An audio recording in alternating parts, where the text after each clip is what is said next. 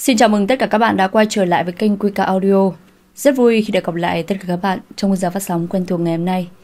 Ngày hôm nay Min và các bạn sẽ cùng nhau đồng hành trong một bộ truyện mới. Bộ truyện mới của ngày hôm nay có tên Hà môn ân oán tình thù của tác giả Lulu. Anh vì hiểu lầm cô mà đối xử với cô bội bạc. Anh vì hiểu lầm cô mà tống cô vào tù đến hai lần. Suy cho cùng thì sao? Anh vẫn không bỏ cô ra khỏi tâm trí của mình được. Người con gái anh đem lòng ghét bỏ bao nhiêu năm, giờ đây lại khiến cho anh thần hồn điên đảo. Câu chuyện sẽ có diễn biến như thế nào? Thì ngay bây giờ chúng ta sẽ cùng nhau đến với tập đầu tiên của chuyện này. Chúc các bạn nghe chuyện vui vẻ. Tập 1 Sáng sớm, ánh nắng ban mai chiếu khắp bốn phương, lá cây rung rinh bởi làn gió nhẹ nhẹ, tiếng chim hót líu lo, thời tiết ấm áp, báo hiệu một ngày đẹp trời. Trên nền trời xanh biếc chỉ có vệt sáng lúc tỏ lúc mờ. Bạch Mặc Uyên bước ra từ nhà tù lớn, nơi mà cô đã gắn bó suốt 2 năm vừa qua với tội danh cố ý giết người và cố tình gây thương tích. Hai năm ở trong nhà tù, ngoài ăn những món ăn thiếu thốn lại còn khó nuốt, làn da của Bạch Mặc Uyên cũng đã khô rám hết cả rồi. Mái tóc ngắn năm xưa giờ cũng đã dài. Có điều từ khi vào tù, Bạch Mặc Uyên lại phát hiện ra thân hình cô khỏe khoắn và đẹp hơn rất nhiều so với lúc còn đi học đấy chứ. Chết tiệt, không ai đến đón mình sao? Trước làn gió lạnh lẽo như cố tình muốn trêu ngươi mình, Bạch Mặc Uyên mặt ngắn tũn lại nhìn xung quanh, miệng buông một câu chửi thề. Ít nhất cũng phải nhớ hôm nay là ngày mà cô ra tù sau 2 năm bị kìm hãm chứ. Cuối cùng cũng như mong ước của cô, ra tù rồi nhớ là rửa tay gác kiếm, hy vọng không gặp lại. Từ phía sau Bạch Mặc Uyên phát ra âm giọng nghiêm túc, vừa nghe Bạch Mặc Uyên đã ngán ngẩm không cả muốn quay đầu lại. Ngoài quản ngục ra thì có thể là ai? Bạch Mặc Uyên cười hi hi ha ha quay người lại. Cô vô tu đi về phía tần gia ý, dùng tay vỗ nhẹ vào vai anh ta. Đại ca, tôi sẽ không quay lại nơi này thêm một lần nào nữa. Yên tâm, chúng ta đây là lần cuối gặp nhau rồi. Đôi mắt thon dài lại sắc sảo như thấu hiểu lòng người của Bạch Mặc Uyên, chiếu lên sự lạnh lùng của đối phương. Cô nhìn vào bàn tay đặt trên vai anh ta mà giật mình thu lại. Thứ lỗi, thứ lỗi, vui quá mà thôi. Tần gia ý như không quan tâm lời Bạch Uyên nói. Nhìn ra phía sau cô, vừa hay có tiếng xe đi tới. Lên xe đi. Tần gia ý hất mặt. Ồ, không ngờ có một ngày quản ngục xấu tính như anh mà cũng tốt bụng gọi cho tôi một chiếc xe. Bạch Bạc Uyên mắt sáng long lanh nhìn taxi. Hai năm không được ra ngoài, ngay cả taxi nhìn cũng mới lạ nữa. Tần gia ý tiện tay phủi nhẹ vai áo mình rồi nói. Không có gì, tôi chỉ là tiễn sự xui xẻo đi mà thôi. Cô đi rồi khiến cho tôi rất vui. Thật lòng giữ cô lại, tôi sợ là mình tổn thọ. Nghe như vậy Bạch Mạc Uyên nhe nanh hăm dọa Tần Gia Ý như một đứa trẻ, song vẫn cười tươi đi về phía xe. Trước khi lên xe không quên vẫy tay tạm biệt. Đại ca, dù tôi có không quay trở lại nữa, cũng đừng quên khoảng thời gian tốt đẹp của hai chúng ta. Tôi là Bạch Mạc Uyên, là tù nhân xinh đẹp nhất. Tần Gia Ý giật giật khóe miệng, cô gái này đúng là... Nhìn xe rời đi, một hồi lâu Tần Gia Ý mới đi vào trong. Còn nhớ năm xưa Bạch Mạc Uyên khi mới đến đây chỉ mới 19 tuổi, thật là quá trẻ. Có điều Bạch Mạc Uyên lại rất khác so với những tù nhân mà anh gặp. Sống rất quyết đoán, suy luận nhạy cảm. Ngoài bộ mặt ngông cuồng và thái độ trời không sợ đất không sợ ra, thì Bạch Mạc Uyên đúng là một cô gái thông minh và biết điều hơn người. Trước kia Tần Gia Ý không thích Bạch Mạc Uyên vì tính ngang ngạnh của cô. Vừa mới vào phòng giam đã gây sự với người khác, hơn nữa lại là đàn ông. Sức phụ nữ lại hạ một lúc năm tên càn quấy, Bạch Mạc Uyên quả là đặc biệt. Chỉ có điều không biết vì lý do gì mà lại mang tội danh giết người từ khi tuổi đời còn trẻ như vậy. Phận làm quản ngục, Tần Gia Ý có trách nhiệm quản lý các tù nhân, tất cả đều vì anh nóng tính mà ai cũng nể nang. Chỉ có Bạch Mạc Uyên luôn nhởn nhơ, coi anh là một người bình thường không hơn không kém. Anh Tần, cái cô gái họ Bạch đó cuối cùng cũng đi rồi. Cuối cùng những năm tháng trong tù của tôi cũng đã bớt đi phần nào đáng sợ. Chứ còn gì nữa. Cô ta nghĩ mình là ai vậy? thần mang danh giết người, nhưng mà vào tù lại thích làm kẻ trừ gian diệt ác. Thật là đáng ghét. Đáng tuổi con tôi, vậy mà... Im lặng. Tần gia ý chắp hai tay phía sau. Khi đi qua những phòng giam này quả là lúc khiến anh đau đầu. Vài phút trước khi Bạch Mạc Uyên còn ở đây, nhà tù luôn trật tự. Vài phút sau khi cô đi, nhà tù đã trở thành tổ ong vỡ tổ. Đó chỉ là một vài người sống trong số thành phần ghét Bạch Mặc Uyên, phần còn lại thì... Anh Tần, anh nói xem, chúng ta đang cùng Bạch mạc Uyên vui vẻ như vậy. Giờ cô ấy đi có chút buồn chán. Ây à, ở với cô ấy, nghe cô ấy nói nhiều thành quen. Cô ấy đi rồi lại nhớ nhung dây dứt. Tất cả hôm nay bị bớt lại một phần cơm. Tần gia ý không là không rằng, mặt lạnh quay lưng đi. Bên trong phòng giam lại là tiếng xôn xao hối hận, chọc giận tần gia ý. Bọn họ đúng là tự mình hại mình rồi. Đi qua vùng quê hẻo lánh chính là thành phố S, nơi Bạch Mặc Uyên sinh ra và lớn lên. Bạch Mặc Uyên ngồi cạnh cửa sổ hóng mát, mắt không ngừng đảo quanh. Ôi, cái thành phố này sao lại khác như vậy chứ? Ôi trời ơi, cái tòa nhà chọc trời này. Ôi kìa, còn có cả mấy con đường lạ nữa. Có hai năm thôi mà. Bạch Mặc Uyên nhíu mày tiếc nuối hai năm vắng mặt tại nơi đây. Khi cô quay người lại, vô tình đảo mắt sang người lái xe. Anh ta tập trung cao độ, hai tay run run, chán lấm tấm mồ hôi. Này anh! Này! Anh gì ơi! Ê! Anh Tài giật mình phanh kít xe lại giữa đường. Cũng may phía sau không có xe, nếu không khó mà đoán được cục diện tiếp theo. Lái xe thì làm ơn tập trung một chút. Muốn chết à? Bạch Mặc Uyên khó chịu sao giọng. Cái người đàn ông này muốn cô đánh cho một trận. Tôi đang lái xe rất nghiêm túc, bởi vì cô làm cho tôi giật mình. Tôi đã làm gì? Tôi thấy anh toát mồ hôi thì mới... Bạch Mặc Uyên chưa kịp nói hết câu, tên tài xế đã nhắm tiệt mắt, hét lên như phó mặc mạng mình cho trời. Tất nhiên là toát mồ hôi rồi. Ngồi cạnh sát nhân thì ai mà không sợ. Bạch Mạc Uyên sững người rồi chợt hiểu ra. Cô cười phá lên. À, sao? Sợ tôi giết anh à? Tôi... Nhìn tên tài xế đã quá sợ hãi, Bạch Mạc Uyên thở dài trong lòng. Tần gia ý kiếm đâu tên vô dụng như vậy chứ? Tiền xe có người trả chưa? Cô tháo dây an toàn. R rồi. Đưa tôi đến đây là được rồi. Bạch Mạc Uyên mở cửa xe đi xa. Trước khi đi lại cúi đầu xuống cười lạnh lạnh. này, nhớ lấy mặt tôi nhá. Sau này đừng có mà đưa tôi đi đâu. Kẻo lại bị dọa tè ra quần. Tên tài xế giận tái mặt, liền đạp ga mà đi. Người phụ nữ điên. cười một hơi, Bạch Mạc Uyên đưa tay lên lau mồ hôi bên mái tóc. Hôm nay là ngày gì vậy chứ? Nóng được như này lại xuống ngay đoạn đường vắng, không có lấy một người đi qua. Mẹ, ở trong tù có khi còn sướng hơn ấy chứ. Bạch Mặc Uyên dậm chân một cái rồi đi về phía trước. Giọt mồ hôi bị ánh mặt trời chiếu qua lan dài xuống gò má, long lanh mà đẹp đẽ.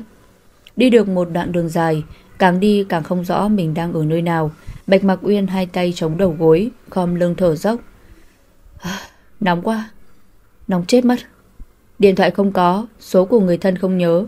Hơn nữa nếu có nhớ thì sợ rằng Bạch Mặc Uyên có gọi thì cũng không tìm được ai. Cái nắng gắt buổi trưa của mùa hè thực sự đang muốn nướng chín cô. Đứng dưới tán cây về hè, Bạch Mạc Uyên nhất quyết không bước thêm một bước nào nữa, thà đứng im tại chỗ phó mặc số phận cho trời. Ông trời quả nhiên thương xót, ngược lại phía trước con đường cô đã đi, có tiếng xe hơi lao tới. Bạch Mặc Uyên hai mắt sáng bừng, liền đưa hai bàn tay lên, bè rắc rắc mấy hồi, Cơ hội nhờ người cho quá giang đã đến. Chiếc John phan Phantom như một viên kim cương chói lóa. Tốc độ không quá nhanh, càng không chậm rãi. Ở trong tù đã 2 năm, huống hồ Bạch Mạc Uyên cũng không biết gì về xe cộ. Cô cũng chỉ nghĩ đơn giản là một chiếc ô tô có bốn bánh mà thôi. Trong xe điều hòa mát lạnh, Trần Hãn Dương ngả mình trên chiếc ghế. An Yên chợp mắt nghỉ ngơi, không một tiếng động nào có thể xâm phạm tới khoảng thời gian nghỉ ngơi quý báu này của anh. Giữa đoạn đường vắng, một tiếng phanh kít kêu lên thảm thiết. Trần Hãn Dương mở mắt, chưa kịp phản ứng. Anh nhìn về phía trước với đôi mày cau lại, cực kỳ khó chịu. Chuyện gì? Trần Hãn Dương chống hai tay về ghế phía trước giữ vững tư thế. Thiếu ra, có một người tự nhiên lao tới cản đường. May mà phanh xe kịp thời. Tài xế quách thở dồn dập đưa tay lên lau mồ hôi lạnh. Một người, vậy đích thị là kẻ điên mới lao vào đầu xe của người khác. Trần Hãn Dương hít một hơi lạnh, tiếp tục dựa lưng về phía sau. Những kẻ này gặp chưa phải ít. Vứt cho ít tiền rồi đi Vâng thiếu gia. Tài xế quách lấy lại tinh thần, Rút từ ví trong túi ra vài tờ tiền có giá trị lớn, Đang định bước ra khỏi xe, Mắt Thuận nhìn phía trước đã không thấy người đâu. Rõ ràng vừa mới đứng ở đây cơ mà. Tài xế quách run run, Tay chỉ nhìn chằm chằm về phía trước. Cộc cộc. Tài xế quách giật nảy mình, Nhìn sang cửa xe bên cạnh. Ông vô tình hét lên một cái để bất ngờ. Trần Hãn Dương nheo mày, Một lần nữa mở mắt. Chuyện gì? Không có gì, thưa thiếu gia. Biết mình đã làm phiền Trần Hãn Dương, Tài xế quách nhỏ giọng cười trừ. Cái cô gái này đúng thật là điên. Dí sát mặt vào cửa kính xe, Khiến ông suýt chút nữa tưởng là ma quái Xuất hiện giữa ban ngày ban mặt. Hạ cửa kính xe xuống, Tài xế quách đưa tiền lên trước mặt Bạch Mạc Uyên. Tiền bồi thường của tiểu thư. Bồi thường? Bạch Mạc Uyên đứng nắng lâu, Chán đã vã mồ hôi. Bồi thường cái gì? Vừa mới gặp nhau, Chưa kịp ngỏ lời chào, Đã được người ta cho tiền. Lẽ nào số Bạch Mạc Uyên lại một phút lên tiên Tiền to như vậy, Chắc hẳn đây là xe của một người giàu có rồi. Bạch Mạc Uyên khó hiểu Nhìn tài xế quách. Môi vẫn nở nụ cười danh ma rồn rộn Khiến ông không khỏi dùng mình. Ông tự cầu trời, mong không gặp phải người tâm thần phân liệt. Tiền bồi thường tôi đã đâm vào xe của tiểu thư. Đây là chi phí. Cô cầm đi khám bệnh. Đâm xe vào Bạch Mạc Uyên. Khám bệnh. Bạch Mạc Uyên lần này cuối cùng đã cười ra tiếng, Cô nhèo mắt lại. Mấy người thừa tiền hay sao? Chính tôi là người chạy ra ngăn xe lại. Xe cũng dừng gấp trước khi đụng chạm vào cơ thể của tôi. Vậy thì có cái gì mà bồi thường? Vậy Tài xế quách e ngại. Bình thường đi, Tôi chỉ muốn quá ra một đoạn đường ấy mà. Tiền nong của các người tôi không cần tới. Trần Hãn Dương ngồi phía sau phút chốc tối sầm mặt.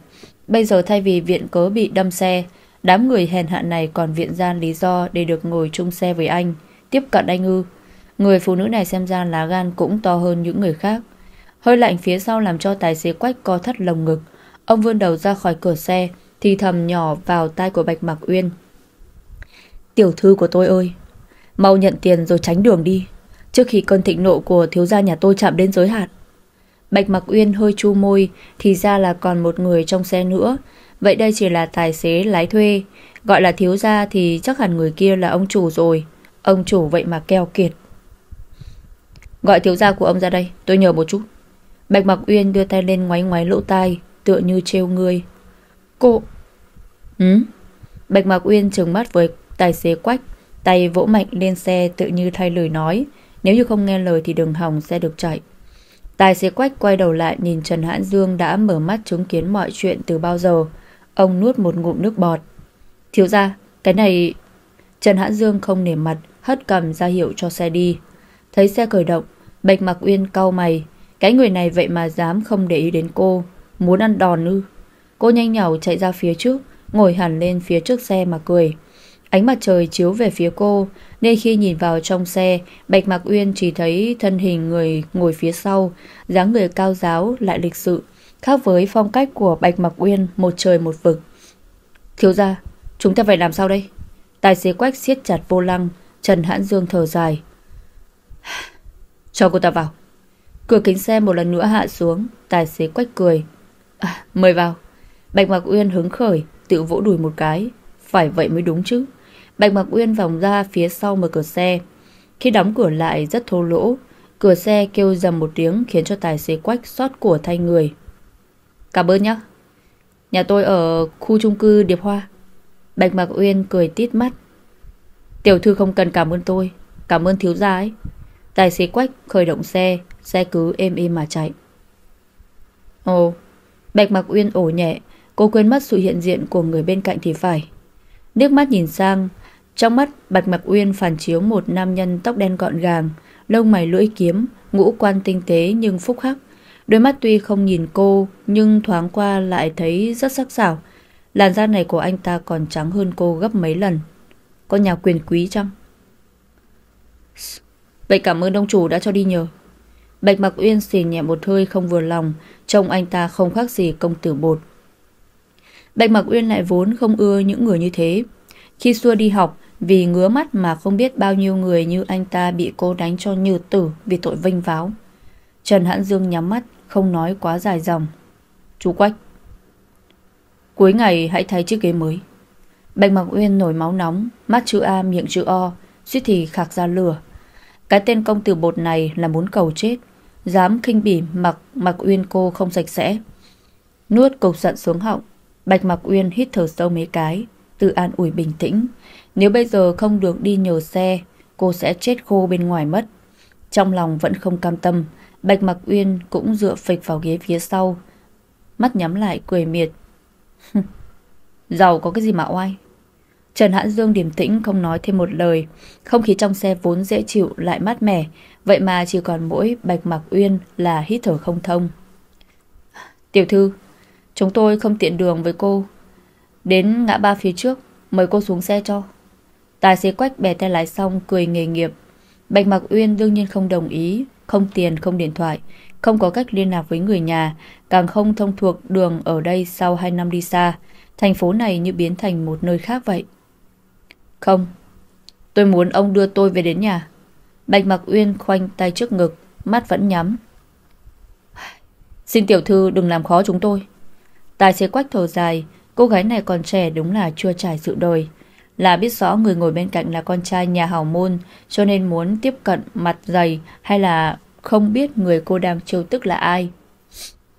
Đã làm người tốt thì hãy làm cho chót. Bạch Mạc Uyên vươn hai tay lên trời, miệng ngáp một cái như không quan tâm đến ông ta. Thiếu ra, tài xế quách nhìn qua gương chiếu hậu, đôi mắt đáng thương không biết phải làm gì cho đúng. Không bận. Trần Hãn Dương lạnh giọng. Tốt, cứ vậy mà làm. Bạch Mạc Uyên vỗ tay vui mừng. Cô còn tưởng tên công tử bột này sẽ gào lên và tống cổ cô xuống khỏi xe bằng được. Hóa ra vẫn còn chút tình người. Tài xế quách hơi cắn môi nhìn thái độ của Trần Hãn Dương. Hôm nay thiếu gia thật lạ, vậy mà lại cho người lạ quá giang trên chiếc xe mình thích nhất. Hơn nữa còn ngồi ngang hàng với nhau. Cô gái kia tuy nhìn trẻ trung lại rất hung hãn, nước da dám nắng khỏe mạnh, thái độ lại rất kiên cường, ương bướng.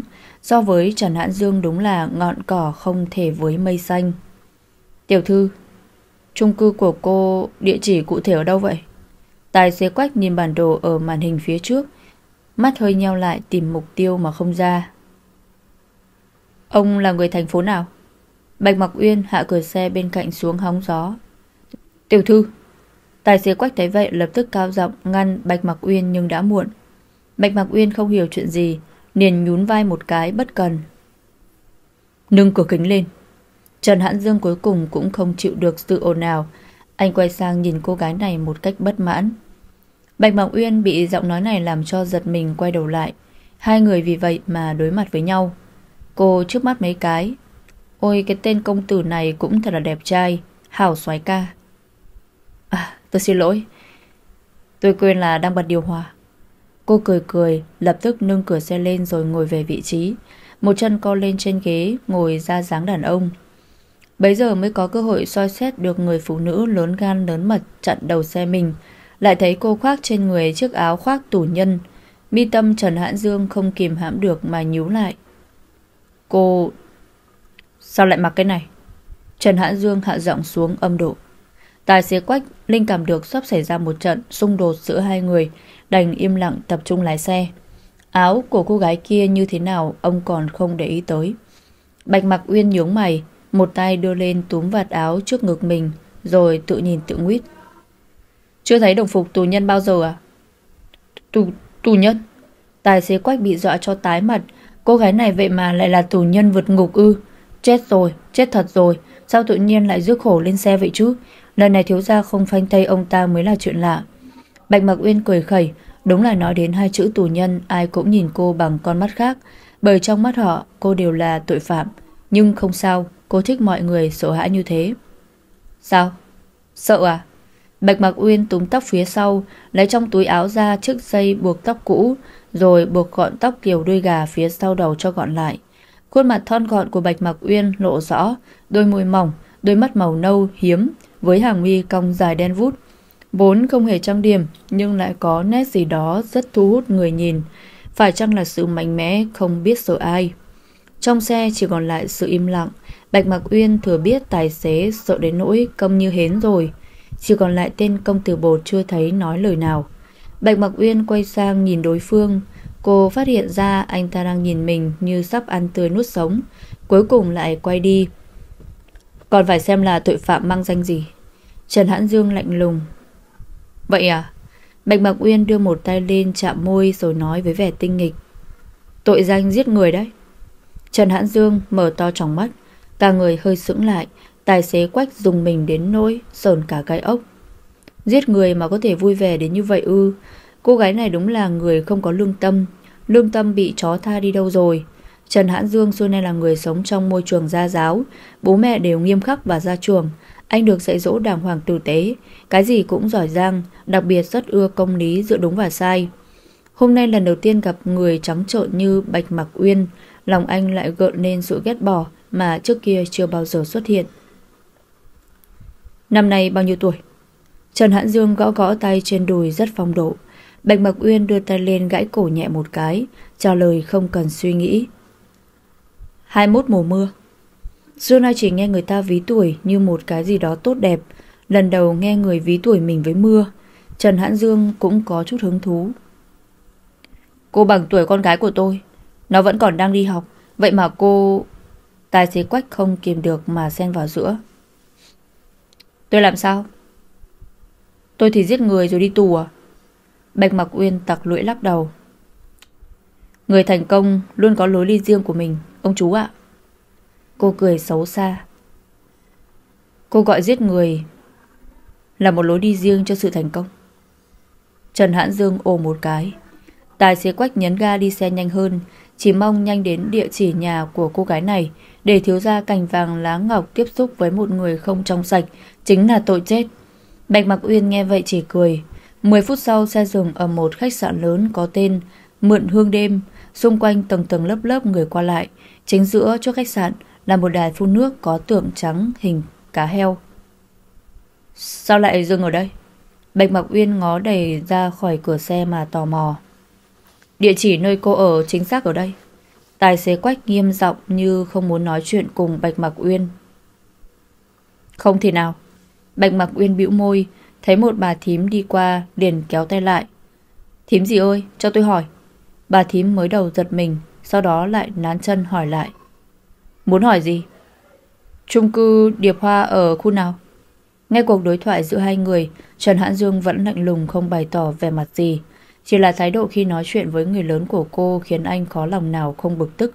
Nhỏ hơn anh 5 tuổi, lại có thể xa cách về cách ứng xử. Cửa xe kéo lại, Bạch Mặc Uyên đưa tay lên đập vào chán một cái. Chết tiệt! Trung cư Điệp Hoa từ khi nào bị phá vậy? Mình biết đi đâu, về đâu để tìm họ bây giờ. Xuống xe. Trần Hãn Dương lên tiếng. Bạch Mặc Uyên siết chặt nắm đấm, cắn răng quay sang nhìn người đàn ông đang cố gắng xua đuổi mình kia. Nếu không phải hôm nay anh làm việc tốt, tôi sẽ dần cho anh một trận như tử. Không ngày tái ngộ. Cô mở cửa xe ra, cố tình đóng dầm lại một cái thật mạnh rồi bước đi. Trong xe tài xế quách run rẩy nhìn gương chiếu hậu, Thần sắc Trần Hãn Dương không mang vẻ gì tốt đẹp cả Thiếu ra không sao. Một con bé giết người nhơ nhớp. Ai đó hãy cầu cho cô ta đừng gặp lại tôi.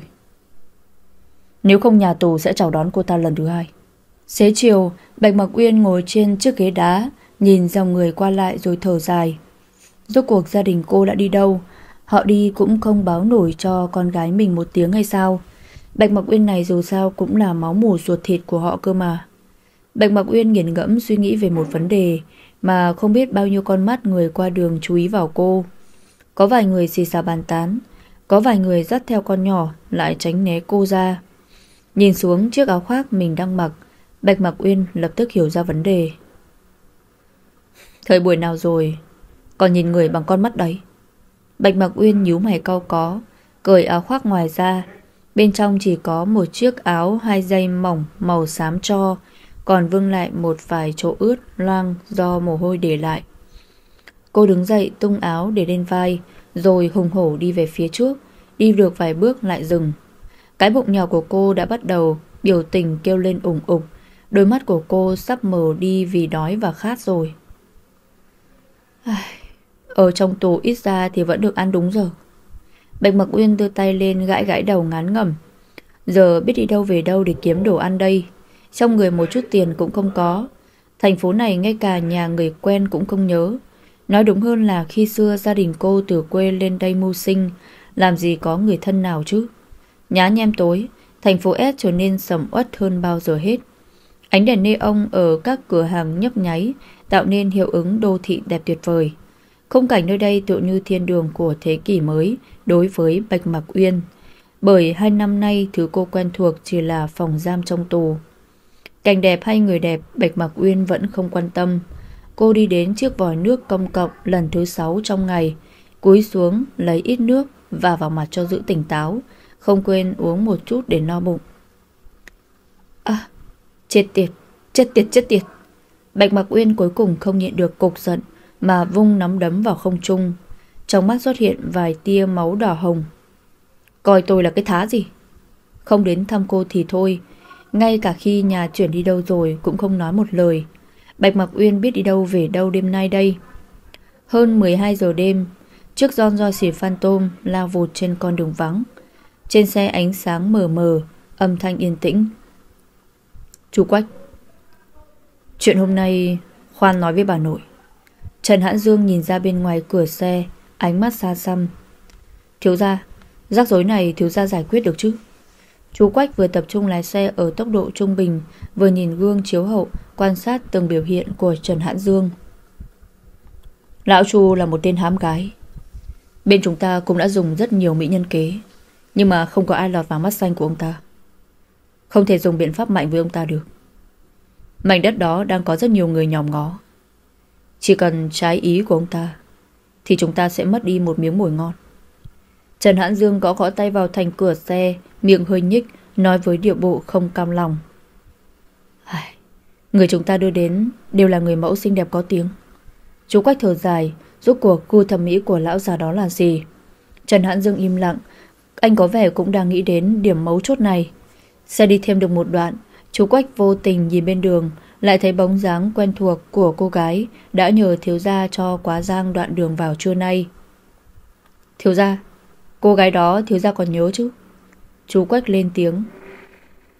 Trần Hãn Dương thuận mắt nhìn về phía trước, phát hiện người phụ nữ ngạo mạn đó đang ngồi dựa đầu vào cây ngủ ngon lành. Trên mình chỉ mặc chiếc áo mỏng hở hang cùng với cái quần rẻ tiền. Vẫn chưa tìm được nhà. Nửa đêm nửa hôm ngồi ngoài đường như vậy.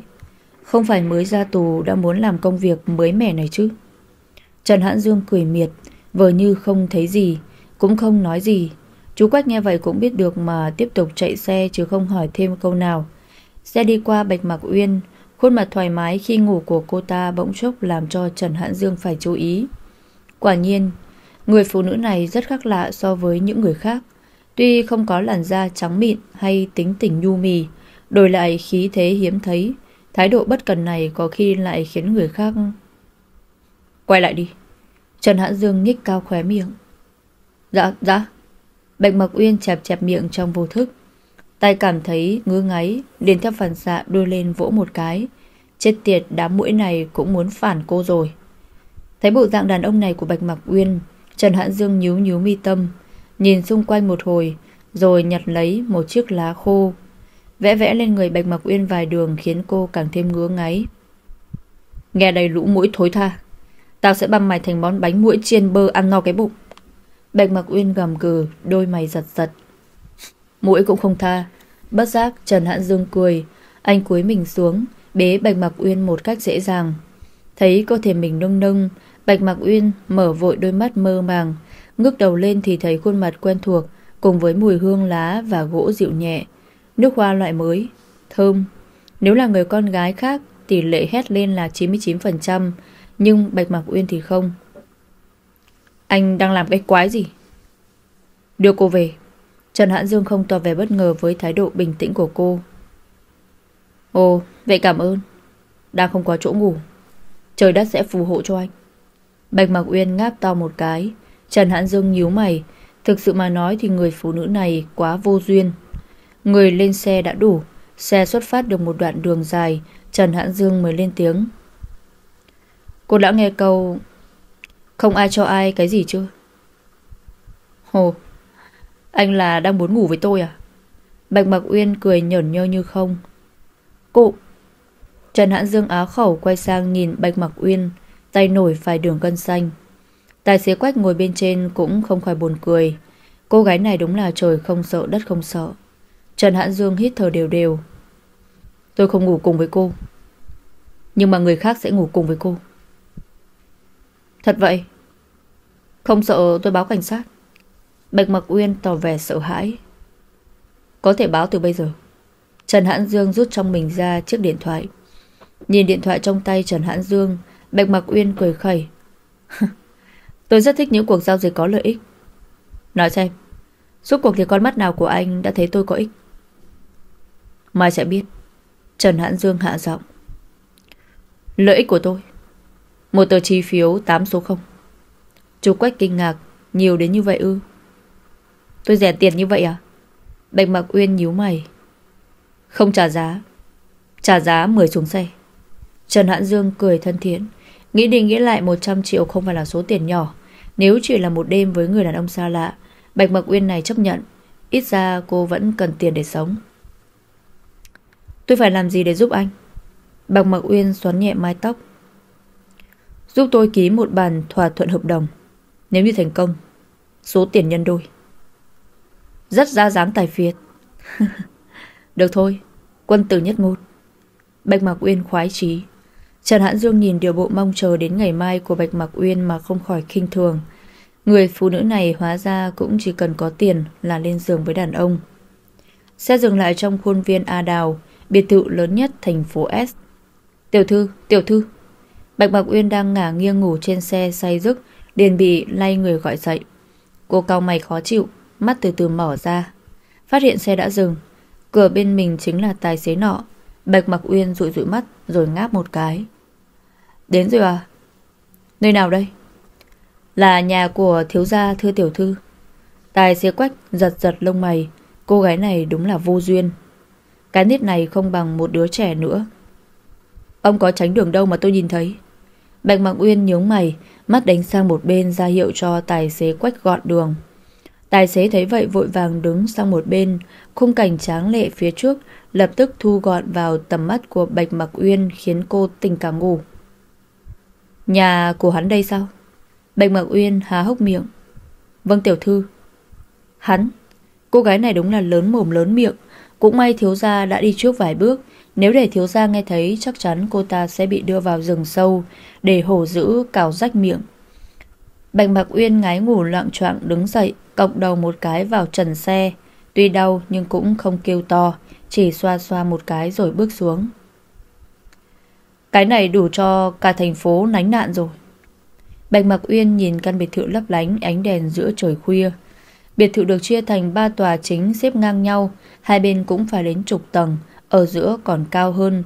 Cái này mà gọi là nhà, lâu đài cổ tích cũng không to như thế này. Bạch Mạc Uyên đây hôm nay lại vớ chúng đại gia hay sao? Thất lễ, thất lễ rồi. Nhìn về phía trước thấy bóng dáng cao mảnh của người đàn ông đáng ghét nọ. Bạch Mạc Uyên trong phút chốc liền thấy cả hắn và ngôi nhà này đều xấu xí. Cô chẹp miệng gãi bụng một cái, rồi quay sang nhìn tài xế quách đang đứng phía sau. Cho hỏi, người kia tên là gì? Tài xế quách kinh ngạc, cô gái này không biết thiếu gia. Tiểu thư, đó là giám đốc tập đoàn đá quý Dương Dương, tên là Trần Hãn Dương. Sao nghe cao sang thế? Định đưa tay lên lau mối lạnh, mà Bạch Mạc Uyên vẫn cứng đờ người, không nhầm lẫn chứ Giám đốc tập đoàn đá quý. Tài xế không biết nói gì đành im. Cũng đúng, tập đoàn Dương Dương sau 2 năm nhờ có đôi bàn tay vàng của thiếu gia mới được như ngày hôm nay, hai năm nay cô lại ở trong tù. Tôi đi theo hắn à? Bạch Mặc Uyên bình tĩnh ngay, giọng nói danh ma. Tiểu thư, thiếu gia có họ tên đàng hoàng, cô có thể gọi là anh Trần, không được gọi thiếu gia là hắn. Bạch Mặc Uyên bĩu môi, đúng là khí thế người giàu. Thế thì ông cũng đừng gọi tôi là tiểu thư, tôi nghèo lắm. Cao quý cái khỉ gì, gọi là cô Bạch. Thế nhá, ngủ ngon. Bạch Mặc Uyên cười ha ha, ngẩng đầu lên trời rồi đi nhanh về phía Trần Hãn Dương. Chưa kịp nói gì đã thấy Bạch Mặc Uyên đi, Tài xế quách lắc đầu ngao ngán Mong sao thiếu gia đừng dây dưa đến cô gái này quá nhiều Nhìn sao cũng thấy không xứng Bạch Mạc Uyên phía kia đuổi kịp Trần Hãn Dương thì cũng vừa hay, hai người đã đặt chân đến đại sảnh. Bên trong nhà chỉ vài nơi thắp ánh đèn mập mờ, có lẽ người trong nhà đều đã đi ngủ. Ê, bật đèn lên cho sáng. Bạch Mạc Uyên thì thầm nho nhỏ ngay sau lưng Trần Hãn Dương. Trần Hãn Dương nghe như không nghe, mặc kệ lời nói của đối phương, gương mặt cao lãnh, chân bước đều đến thang máy trong nhà. Xịn thật đấy.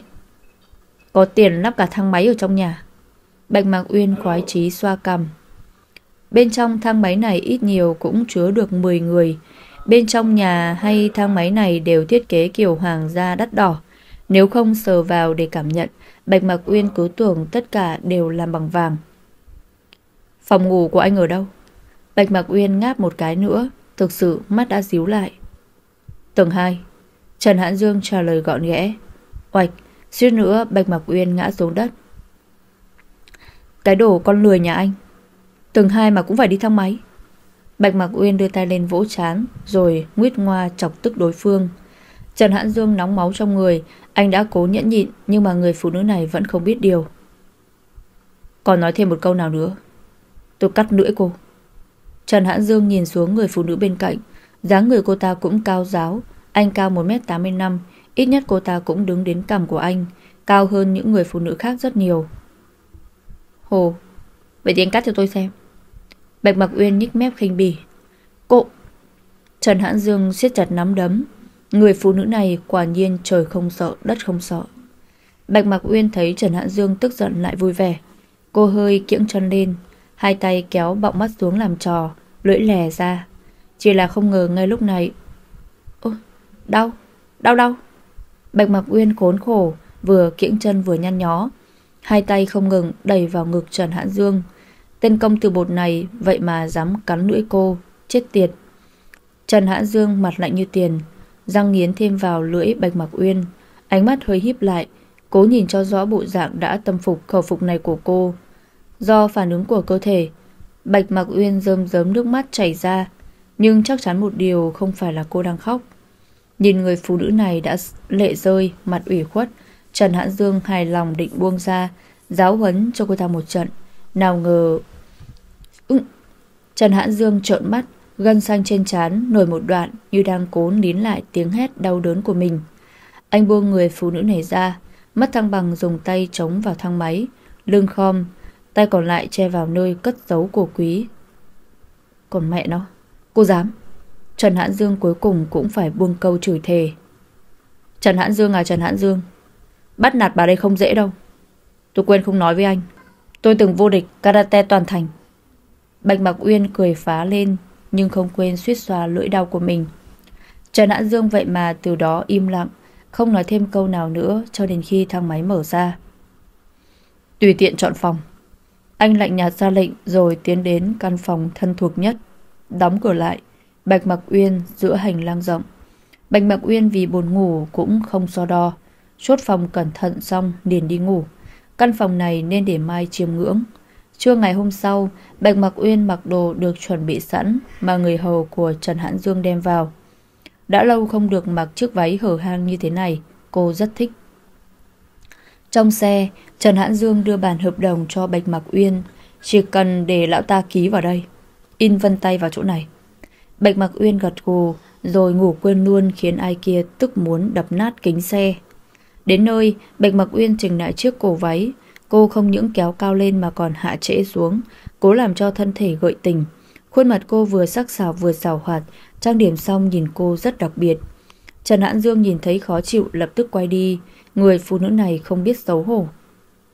Số phòng, Bạch Mặc Uyên chỉnh sửa lại mái tóc. Không một. Già hay trẻ? Già, trẻ hay sắp chết thì cô cũng phải gặp. Ồ, Bạch Mặc Uyên gật đầu, Hẹn gặp lại. Cô đóng dầm cửa xe, tiến về phía trước với đôi cao gót đắt tiền. Được nhân viên khách sạn dẫn đến tận nơi, Bạch Mạc Uyên liền xua tay. Xong việc thì đi đi. Ở đây làm gì? À, vâng. Bạch Mạc Uyên nhìn nhân viên đi rồi mới cười khẩy. Cô không gõ cửa, cứ thế đi vào trong phòng. Bởi cửa cũng không hề khóa trái. Để xem đối tác của món hời cô đang tiếp nhận là ai nào. Cửa phòng mở ra, Trước mặt Bạch Mạc Uyên là khung cảnh mây mưa đặc sắc giữa một người đàn ông và hai cô gái xinh đẹp quấn quanh hắn ta. Hồ, đến rồi. Bạch Mặc Uyên tá hỏa quay lưng lại với cảnh xuân đối diện. Cô thở sồn sập hai tay nóng bừng lên. Chết tiệt, cái thằng cha này. Thần kinh hay sao mà không chốt cửa? Bạch Mặc Uyên gào lên giận dữ. Đối phương sững sờ. Trần Hãn Dương vậy mà lại đem đến đây một tiểu nha đầu cau có, khí chất ngời ngời như thế này, mồm miệng cũng duyên dáng làm sao. Mặc quần áo vào cho anh nào các bê bê. Âm giọng thanh cao mắt lạnh vừa nghe nên biết là kẻ phong lưu. Không chịu. Giọng nói nỉ non của phụ nữ trong phòng vang tới một tiếng tét vừa nghe đã biết là âm thanh xấu hổ. Ngoan ngoãn. Tối anh chiều lòng hai người. Chỉ khi người đàn ông đó nói xong câu này 5 phút sau Bạch Mạc Quyên đã thấy hai người phụ nữ đó đi ra cửa. Tất cả đều mặc chiếc váy dễ cởi. Khuôn mặt anh Tú tựa như những sinh viên ngây thơ Ấy vậy mà lại lườm cô như muốn ăn tươi nuốt sống. Gì chứ? Hận cô vì phá vỡ không gian lãng mạn à? Lườm cái gì? Móc mắt bây giờ. Bạch Mạc Uyên gầm gừ, đưa tay lên tỏ ra móc ngoáy, khiến họ sợ hãi mà chạy mất. Cửa phòng đóng cạch lại, không gian đáng lẽ ra trở nên yên ắng, nhưng vọng lại tai của Bạch Mặc Uyên chính là tiếng thắt lưng và lạch cạch vào nhau. Đoán không nhầm tên tiểu tử kia đang mặc quần không định quay đầu lại à? Âm thanh cao cao đó lại cất lên một lần nữa, có vẻ đã bình ổn hơn so với giọng nói khi ân ái với hai người phụ nữ kia. Bạch Mặc Uyên hít một hơi thật sâu, dù sao cảnh tượng này cũng không có gì đặc biệt, chỉ là bất ngờ đối diện nên cô không kịp ứng xử. Cô quay đầu lại, nhìn kỹ gương mặt nam nhân kia. Còn trẻ, sống mũi cao, màu môi hơi sẫm lại. Nhìn gạt tàn trên bàn, đủ hiểu là hắn rất hay hút thuốc. Vậy ra cậu là Lão Chu. Bạch Mạc Uyên nhướng mày. Lão Chu? Hắn nhấp một ngụm rượu rồi cười. Hà Cô đang nói bố của tôi à? Bố anh? Vậy bố của anh đâu? Bạch Mạc Uyên nhắm mắt Cố nuốt một cục giận. Bố tôi đi công tác Tôi đến thay Sao Thất vọng vì tưởng mồi chài được con cá lớn Không may gặp cá con à Bạch Mặc Uyên suýt xoa cúi xuống nắn hai đầu gối. Chứ sao? Mệt chết. Cô đi tới giữa phòng, ngồi xuống sofa. Cho xin một ly nước lạnh đi em trai. Đối phương tối sầm mặc, cô ta vậy mà dám gọi hắn là em trai. Người này quá là sức sược. Nước trong tủ lạnh, tự đi mà lấy. Điếu thuốc được châm lên, hắn hút sâu một hơi rồi nhả ra làn khói mờ. Bạch Mặc Uyên nhíu mày. Bày tỏ khuôn mặt khó chịu gì vậy? Chị đây mới là người nên phải tức giận chứ Cô là ai?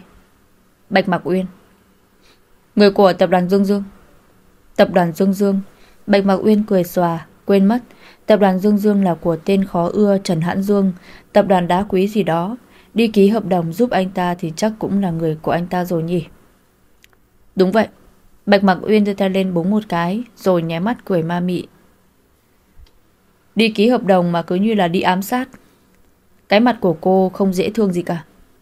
Bạch Mặc Uyên nghe vậy bất mãn, đưa tay lên tự bóp nhẹ hai ngực mình như chứng tỏ. Cậu xem, ngực vừa vặn, eo thon gọn. Mông tròn trịa, vậy mà lại không dễ thương. Biết vì sao cậu thấy không dễ thương không?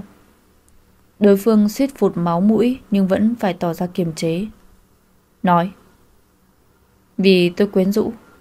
Bạch Mặc Uyên cắn nhẹ môi, tụt nhẹ một quay váy xuống, Tay kia không ngừng vuốt dọc cần cổ xuống xung quanh xanh.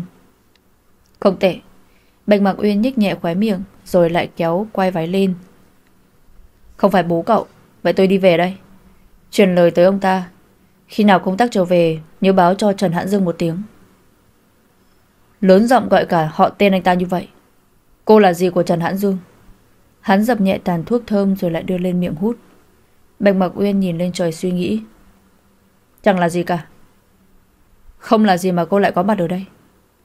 Thích. Được không? Điếu thuốc được hút hết. Người đàn ông đó liền ngồi vắt chéo đùi, Nhìn từ trên xuống dưới cơ thể của Bạch Mặc Uyên.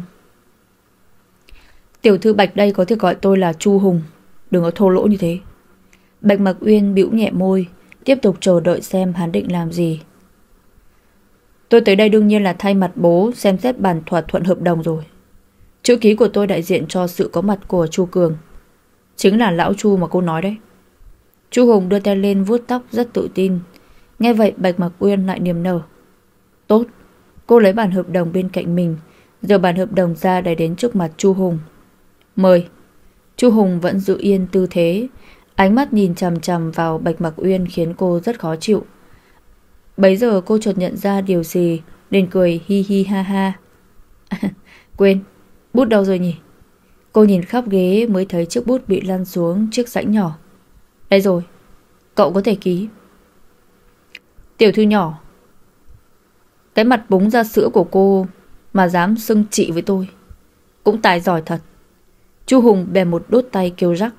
Bạch Mặc Uyên không những không sợ mà đưa hai bàn tay lên, bè răng rắc giống như từng khớp xương đang bị tháo ra. Chu Hùng không khỏi kinh ngạc, thêm vài phần hứng thú. Có ký không?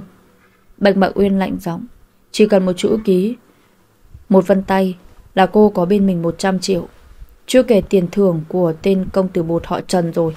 Hôm nay dù phải sống chết liều mạng với tên này cô cũng phải có được, cùng lắm là chặt tay hắn. Khách hàng là thượng đế.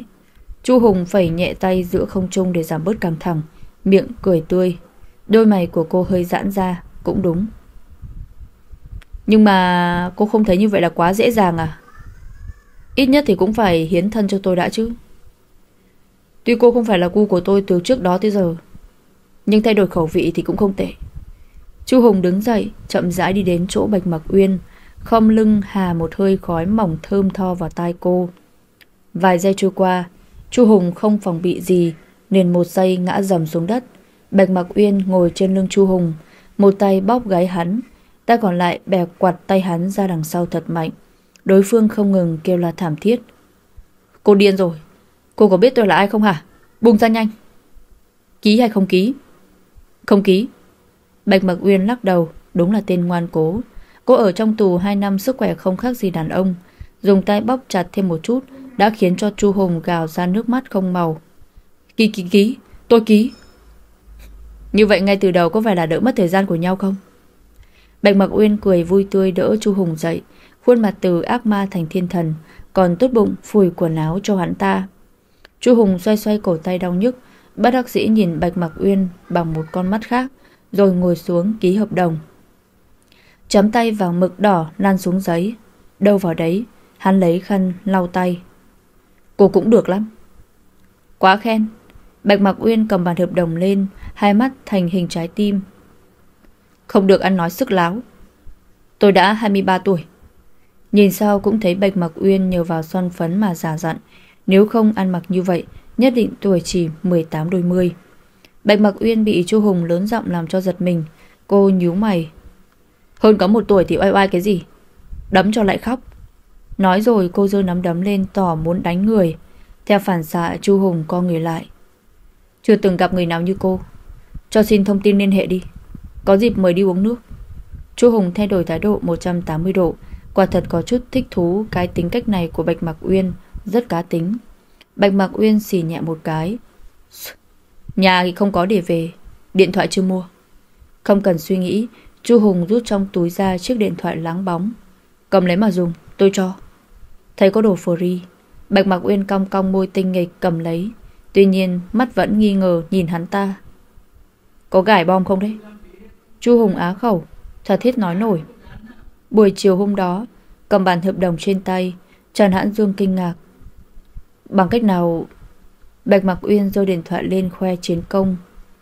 Được cả trì lẫn trai, đôi bên thuận lợi. Trần Hãn Dương tuy cầm được bản hợp đồng ký kết thành công trên tay, nhưng trong lòng không mấy vui vẻ gì. Nhất là khi nhìn thấy Bạch Mạc Uyên vẫn hớn hở sau khi làm trò vô liêm sỉ để giúp anh, còn không quên lấy điện thoại của đối phương. Loại người này thật đáng kinh bỉ. Sao vậy? Không vui à? Bạch Mặc Uyên thấy không khí trong xe có phần nặng nề nên quay sang hỏi Trần Hãn Dương. Xem cái vẻ mặt của anh ta kìa, có tức chết không chứ?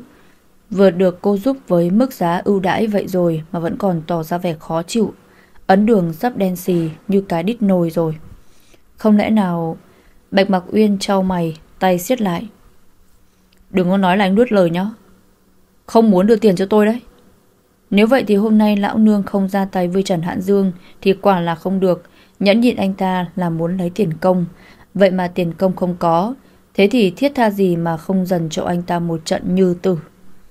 Trần Hãn Dương liếc mắt nhìn sang Bạch Mạc Uyên, thấy cô như nhím sắp sù lông lên, trong lòng bực bội. Trần Hãn Dương đây đường đường là một đại gia cái gì cũng không thiếu, nhất là tiền. Vậy mà Bạch mặc Uyên cô vậy lại cho rằng anh muốn quỵt tiền. Tự tin được cả trì lẫn trà như vậy. Sao không vén vái đi làm bồ nhí cho hắn ta đi? Cô rất có triển vọng. Trần Hãn Dương nhích mép. Bạch Mạc Uyên nghe vậy không những không tức giận mà còn cười to dựa vào ghế. Ý kiến này không tồi. Có vẻ như là hắn rất thích tôi. Ai đó bị chặn họng làm cho á khẩu không biết nói gì. Nhưng mà tôi nghĩ với số tiền tôi lấy được từ chỗ của anh thì nên đi chăm sóc vẻ đẹp của bản thân đã. Ai mà lại thích một con nhỏ mới từ trong tù ra với một bộ dạng quê mùa như thế này. Bạch Mặc Uyên búng tay, nháy mắt với Trần Hãn Dương ra hiệu đưa tiền. Trần Hãn Dương lạnh mặt, không trả lời, xem như gió nhẹ mây bay thoảng qua tai, không đáng nghi ngờ. Anh cầm bản hợp đồng đưa về phía trước. Chú Quách, cắt cho tôi. Được, thiếu ra. Xe lại lăn bánh một lần nữa, rời khỏi khách sạn lớn. Phía sau, từ khách sạn đi ra là Chu Hùng. Hắn đút hai tay vào túi quần, dáng đứng vô tư thoải mái. Bạch Mặc Uyên này có lẽ không phải là gu của Trần Hãn Dương. Xem ra mình lại có cơ hội rồi. Dứt lời Chu Hùng đưa tay lên xoa cằm. Cô gái này có vẻ khó nhằn. Vừa hay từ đâu chạy ra hai người phụ nữ trước đó phải tự mặc đồ đi ra khỏi phòng của Chu Hùng. Tất nhiên là do Bạch Mặc Uyên đến mà mọi chuyện đổ bể. Anh, người ta đợi lâu lắm rồi. Vẫn chưa đi. Chu Hùng nhướng mày nhìn hai bên cánh tay mình đang bị quấn chặt. Muốn đợi anh. Chu Hùng hơi híp mắt, cười danh ma. Đúng lúc lắm. Vậy đi vào trong. Anh sẽ thỏa nỗi niềm nhung nhớ cho hai cục cưng bé bỏng. Xe Trần Hãn Dương đi thẳng với tốc độ trung bình về biệt thự A Đào. Trong xe, Bạch Mặc Uyên phụng phịu tức giận. Liệu có phải cô bị lừa? Đúng là phải nên tiền trao cháu múc thì mới đúng. Trần Hãn Dương vậy mà chưa đưa tiền cho cô. Anh Trần này, tôi có thể giảm giá cho anh.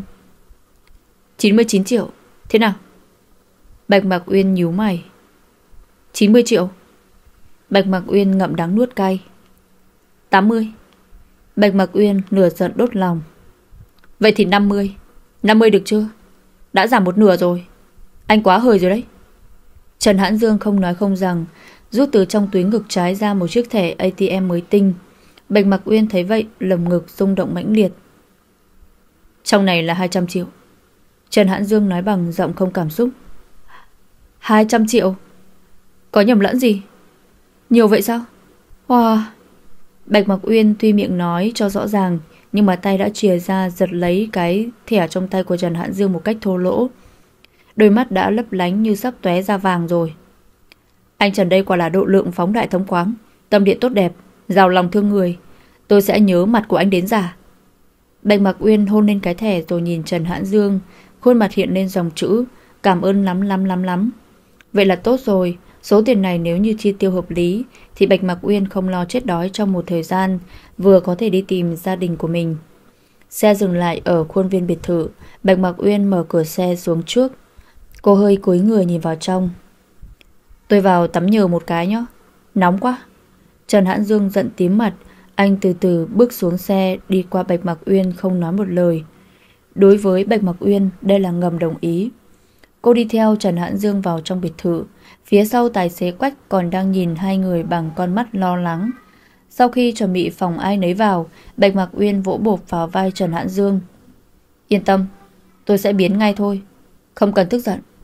Cô vừa nói vừa cười danh mãnh, thái độ của cô chính là không coi ai ra gì. Một cánh tay lớn khác đặt lên tay của Bạch Mặc Uyên. Trần Hãn Dương gạt tay cô xuống. Ánh mắt sắc như lưỡi dao lam sạch sâu vào da mặt của Bạch Mặc Uyên. Đừng tự tiện. Vứt chiếc áo này đi thì phí. Bởi ít ra giá của cái áo này còn cao hơn lòng tự trọng của cô. Bạch Mặc Uyên bỏ tay xuống, cô trừng mắt nhìn đối phương. Anh ta khinh cô. Chỉ một cái chạm mà nói như vậy, anh ta sạch sẽ đến mức khiến người khác khó chịu. Bà đây không cần lòng tự trọng.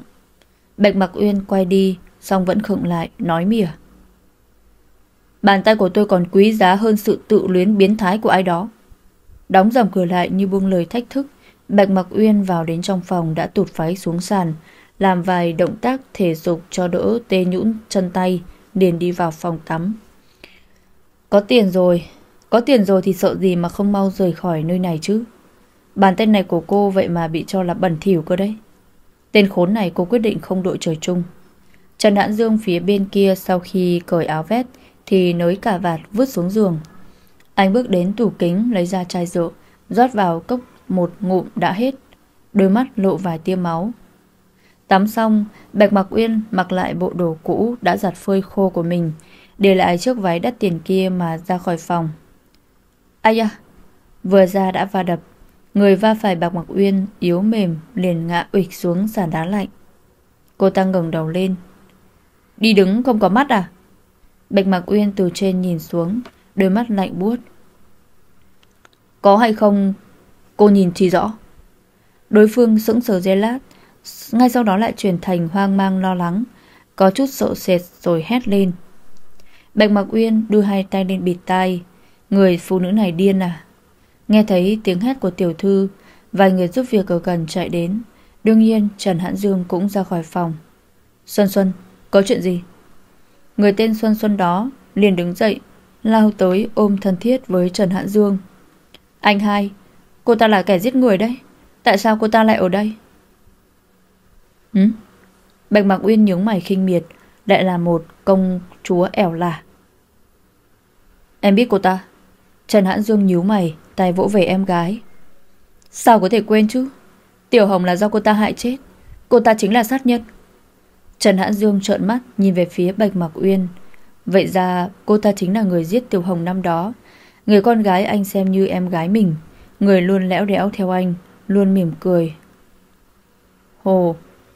Bạch Mạc Uyên kinh ngạc đôi chút. Tôi suýt thì quên cô rồi. Xuân Xuân, xinh đẹp hơn đấy.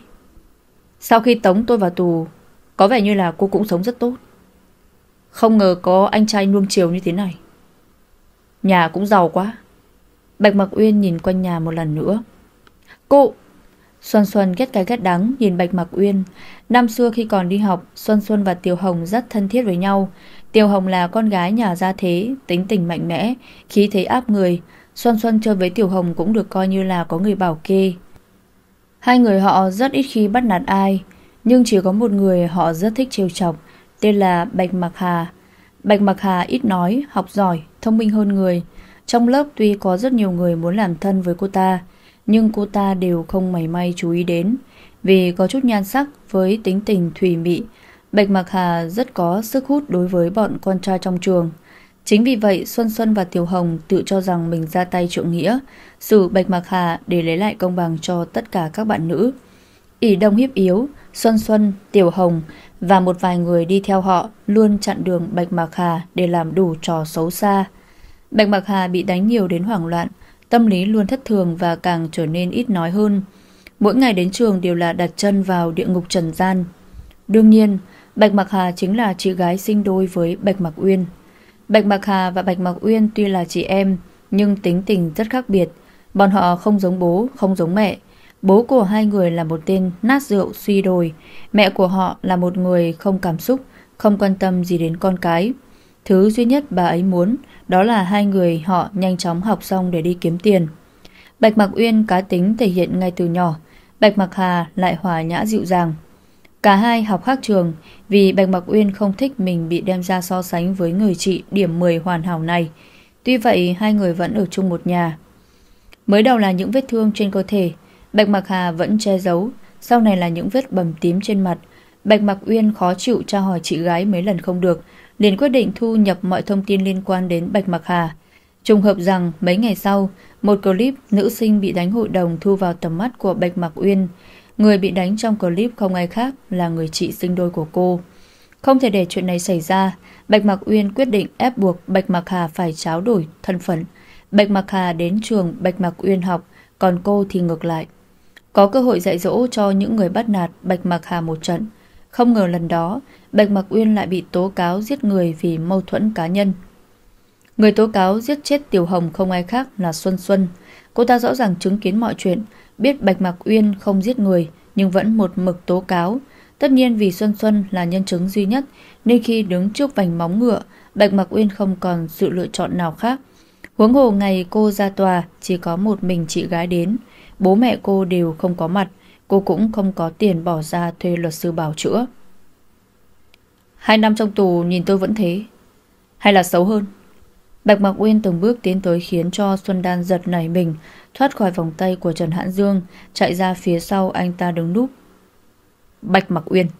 Trần Hãn Dương nghiến răng, ánh mắt đỏ ngầu nhìn Bạch Mạc Uyên. Biết tên của cô rồi, Bạch Mạc Uyên lộ chút kinh ngạc rồi ôm bụng cười. Thái độ gì đây? Lẽ nào tôi giết nhầm người yêu của anh? Còn muốn trêu đùa thêm vài câu, Bạch Mạc Uyên bất ngờ bị Trần Hãn Dương đi tới, dùng bàn tay bóp chặt cổ. Khốn nạn, cô còn có thể cười đùa. Bạch Mạc Uyên. Cái tên của cô làm sao tôi có thể quên? Trần Hãn Dương bất bình tĩnh mà gằn giọng. Xung quanh đám đông ai cũng xôn xao không hiểu rõ chuyện gì đang xảy ra. Ngày đó Tiểu Hồng rất hay đến nhà chơi, ban đầu anh cũng không đón tiếp, dần dần lại mùi lòng. Tiểu Hồng hòa đồng như thế, rất quan tâm anh. Được tin con bé chết vì bị giết bởi một người tên Bạch Mặc Uyên.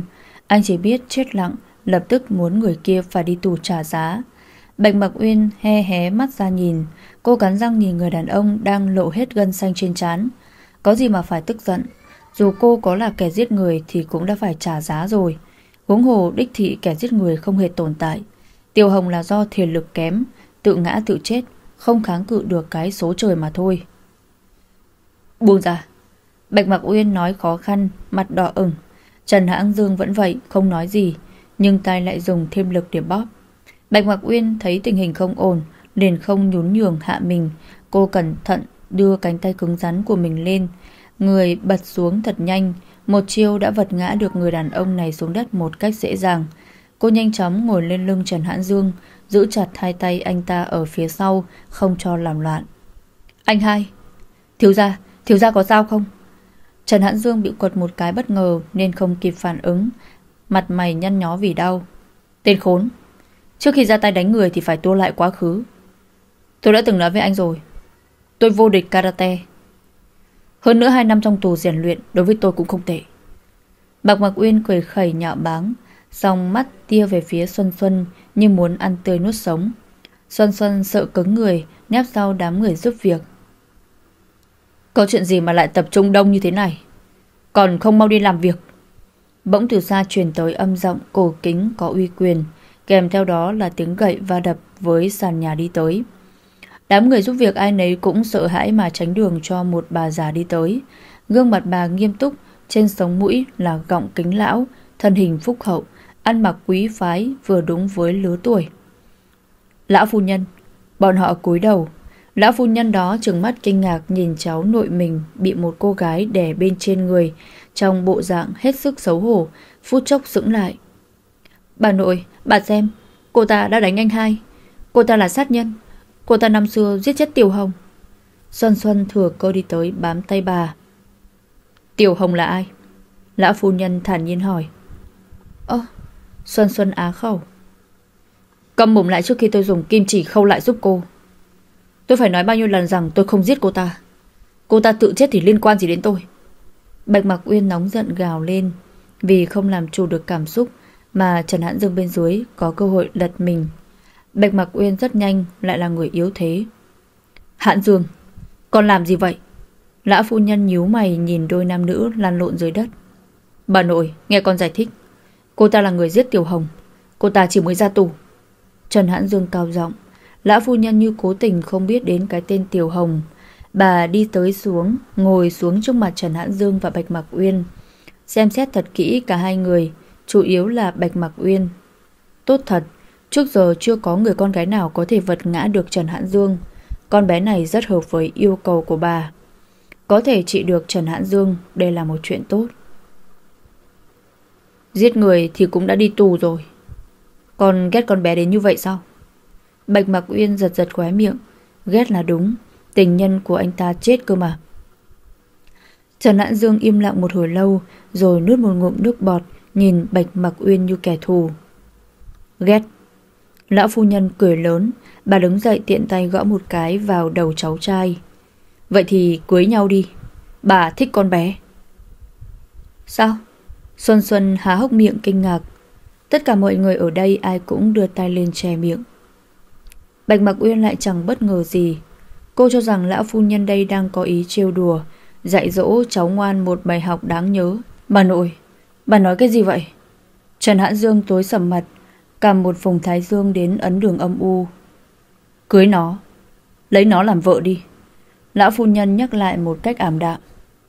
Bà, Trần Hãn Dương nhíu mày cao giọng, anh thực sự phẫn nộ với tình huống oái âm này. Bà biết thừa cô ta là kẻ giết người, nhưng mà lại muốn con lấy cô ta làm vợ. Bà, có phải là bà đang đùa? Bạch Mạc Uyên chẹp miệng mấy lần rồi cười xấu xa. Trần Hãn Dương đúng là nóng tính.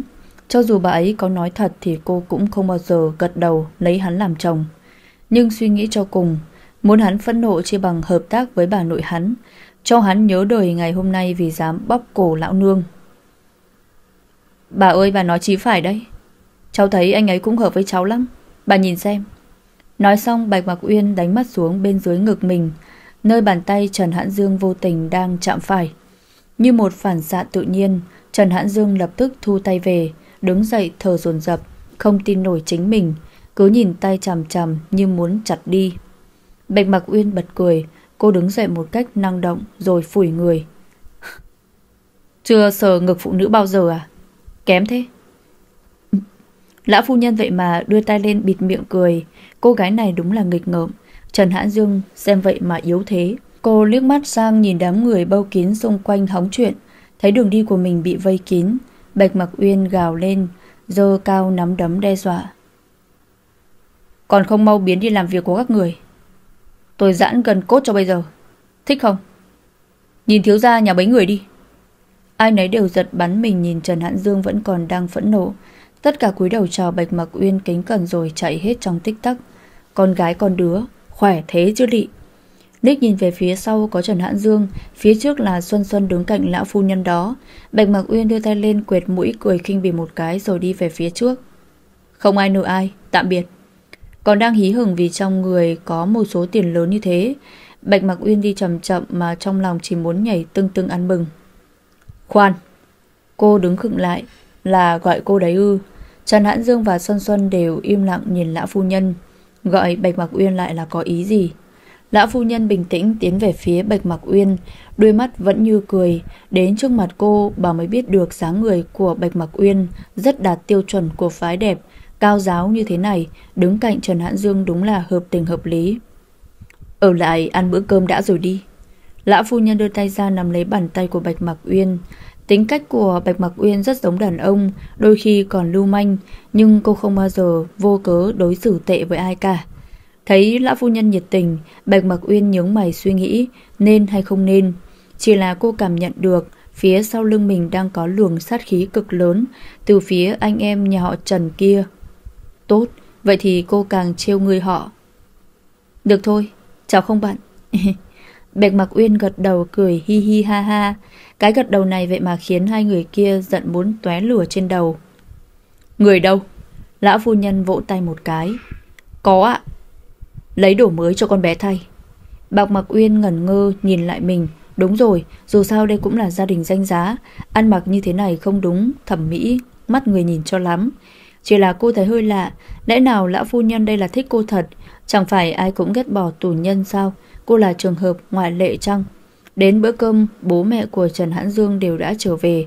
Khác biệt với lão phu nhân, bọn họ đều giống anh em Trần Hãn Dương, xem cô như một động vật kinh tởm khi nghe Xuân Xuân mách lẻo cô là người mới ra tù vì tội danh giết người khi chỉ còn là sinh viên trên ghế nhà trường. Ăn đi, cái này ngon. Đây, cái này rất tốt cho da. Cái này bổ sung vitamin A. Ăn rau nhiều để có canxi. Bữa cơm ai nấy đều im lặng, chỉ duy nhất lão phu nhân là liên tục gắp đồ ăn cho Bạch Mặc Uyên. Chu ăn hết cái này đã đến cái khác, Bạch Mặc Uyên trợn mắt, nhìn bát cơm đã đầy ự như núi. Bà để cháu tự nhiên. Bạch Mặc Uyên ngăn lại lão phu nhân. Được, ăn đi, ăn đi mới khỏe được. Lão phu nhân hài lòng. Mẹ, chuyện này là sao? Vương Ái Phương, mẹ của Trần Hãn dung từ đầu đến cuối đều không động vào đũa. Nghe nói mẹ chồng còn định bắt ép Trần Hãn Dương lấy người con gái thô lỗ. Với gia tù này bà liền ấm ức trong lòng. Lão phu nhân ăn một miếng thịt, đợi nhai xong mới nói, ánh mắt bà nghiêm khắc ngay. Ăn đi, bữa cơm không được phép nói chuyện. Không được phép nói chuyện, vậy mà bà lại nói liên tục từ lúc vào mâm đến giờ. Trần Hải, bố của Trần Hạn Dương không nhịn nổi, lập tức đứng dậy, bỏ bát cơm dở để về phòng. Vương Ái Phương thấy vậy cũng chạy theo chồng. Chỉ còn lại Trần Hạn Dương và Xuân Xuân là phải ăn, không dám đứng dậy khi bà nội còn ở đây. Thấy hai vợ chồng nọ đi, Bạch Mặc Uyên thoải mái hẳn, cô ăn nhiều hơn, tập trung vào những món khoái khẩu. Xuân Xuân cắn đầu đũa, cô ta không dám cãi lời lão phu nhân. song nhìn Bạch Mặc, Mặc Uyên ăn uống một cách trướng mắt khiến cho cô ta rất khó chịu. Hơn nữa, nhìn sang Trần Hãn Dương, Xuân Xuân thấy từ đầu đến cuối anh đều nhìn Bạch Mặc Uyên không chớp mắt dù một lần. Không thể nào, Trần Hãn Dương vậy mà thích cô ta. À, anh, anh ăn đi. Xuân Xuân cười gượng, gấp thức ăn cho anh. Cái cô ta nhận được là sự lạnh nhạt. Anh vẫn nhìn Bạch Mặc Uyên ăn vui vẻ. Ánh mắt này là có ý gì? Không được. Bao nhiêu năm qua, Trần Hãn Dương không nhìn phụ nữ lâu quá hai giây. Vậy mà... Xuân Xuân lo lắng. Cháu ăn xong rồi. Cảm ơn vì bữa ăn. Bạch Mặc Uyên đẩy ghế ra đứng dậy, hơi cúi đầu tạm biệt lão phu nhân. Nhanh như vậy sao? Lão phu nhân nhìn Bạch Mặc Uyên tiếc nuối. Cũng đã muộn rồi, cháu sẽ đi về ngay bây giờ. Bạch Mặc Uyên chớp mắt không luyến lưu. Nói là về, nhưng cùng lắm là ra khách sạn ngủ một đêm. Có thời gian rảnh nhớ đến đây thăm bà. Nhìn lão phu nhân ân cần cầm tay của mình không hề giả tạo, khiến cho Bạch Mặc Uyên cũng có chút cảm động. Cả nhà Trần Hãn Dương ghét bỏ cô ấy, vậy mà bà nội của anh ta cũng tốt đấy chứ. Tiễn Bạch Mặc Uyên ra khỏi biệt thự A Đào, lão phu nhân nhìn lên trời cao cười hiền hậu, con bé có vẻ không nhớ bà thật rồi. Bên trong biệt thự, Xuân Xuân sau khi pha một ly trà thơm, liền sai người giúp việc mang lên phòng cho Trần Hãn Dương, lồng ngực cô ta vẫn còn đập thật mãnh liệt. Được rồi, nhiều vậy. Xuân Xuân vỗ vỗ ngực, cùng lắm ăn tất, mất về không. Trần Hãn Dương sau khi tắm xong, trên người chỉ mặc một chiếc áo choàng màu vàng lụa mềm mịn, mái tóc sợi khô, sợi ướt, rũ ra. Cổ áo khoét sâu xuống ngực anh, để lộ ra hai bên quay xanh rắn chắc, lại mê mẩn lòng người. Ngồi phịch xuống ghế sofa, Trần Hãn Dương mở chiếc laptop, định bụng tiếp tục công việc của mình trước khi đi ngủ. Vậy mà chết tiệt, người phụ nữ đó cứ xuất hiện trong đầu khiến anh không thể nào bình tĩnh. Cô ta là cái thá gì mà bà nội lại quý mến đến như vậy? Cả biệt thự A Đào đều biết xưa nay người bà tin tưởng và yêu thương nhất là anh. Bà luôn muốn mang lại những điều tốt đẹp nhất cho anh và rèn luyện anh nên người. Vậy thì hôm nay bà đã ăn phải bùa ngải gì của Bạch Mạc Uyên mà còn muốn anh lấy cô ta làm vợ. Nhìn đâu cũng thấy lời bà nói không một chút bông đùa. Cô ta với anh, đời này không đội trời chung. Cốc cốc, Trần Hãn Dương giật mình, thu lại tâm trạng. Ai? Thiếu ra, tôi đem trà đến cho anh. Vào đi.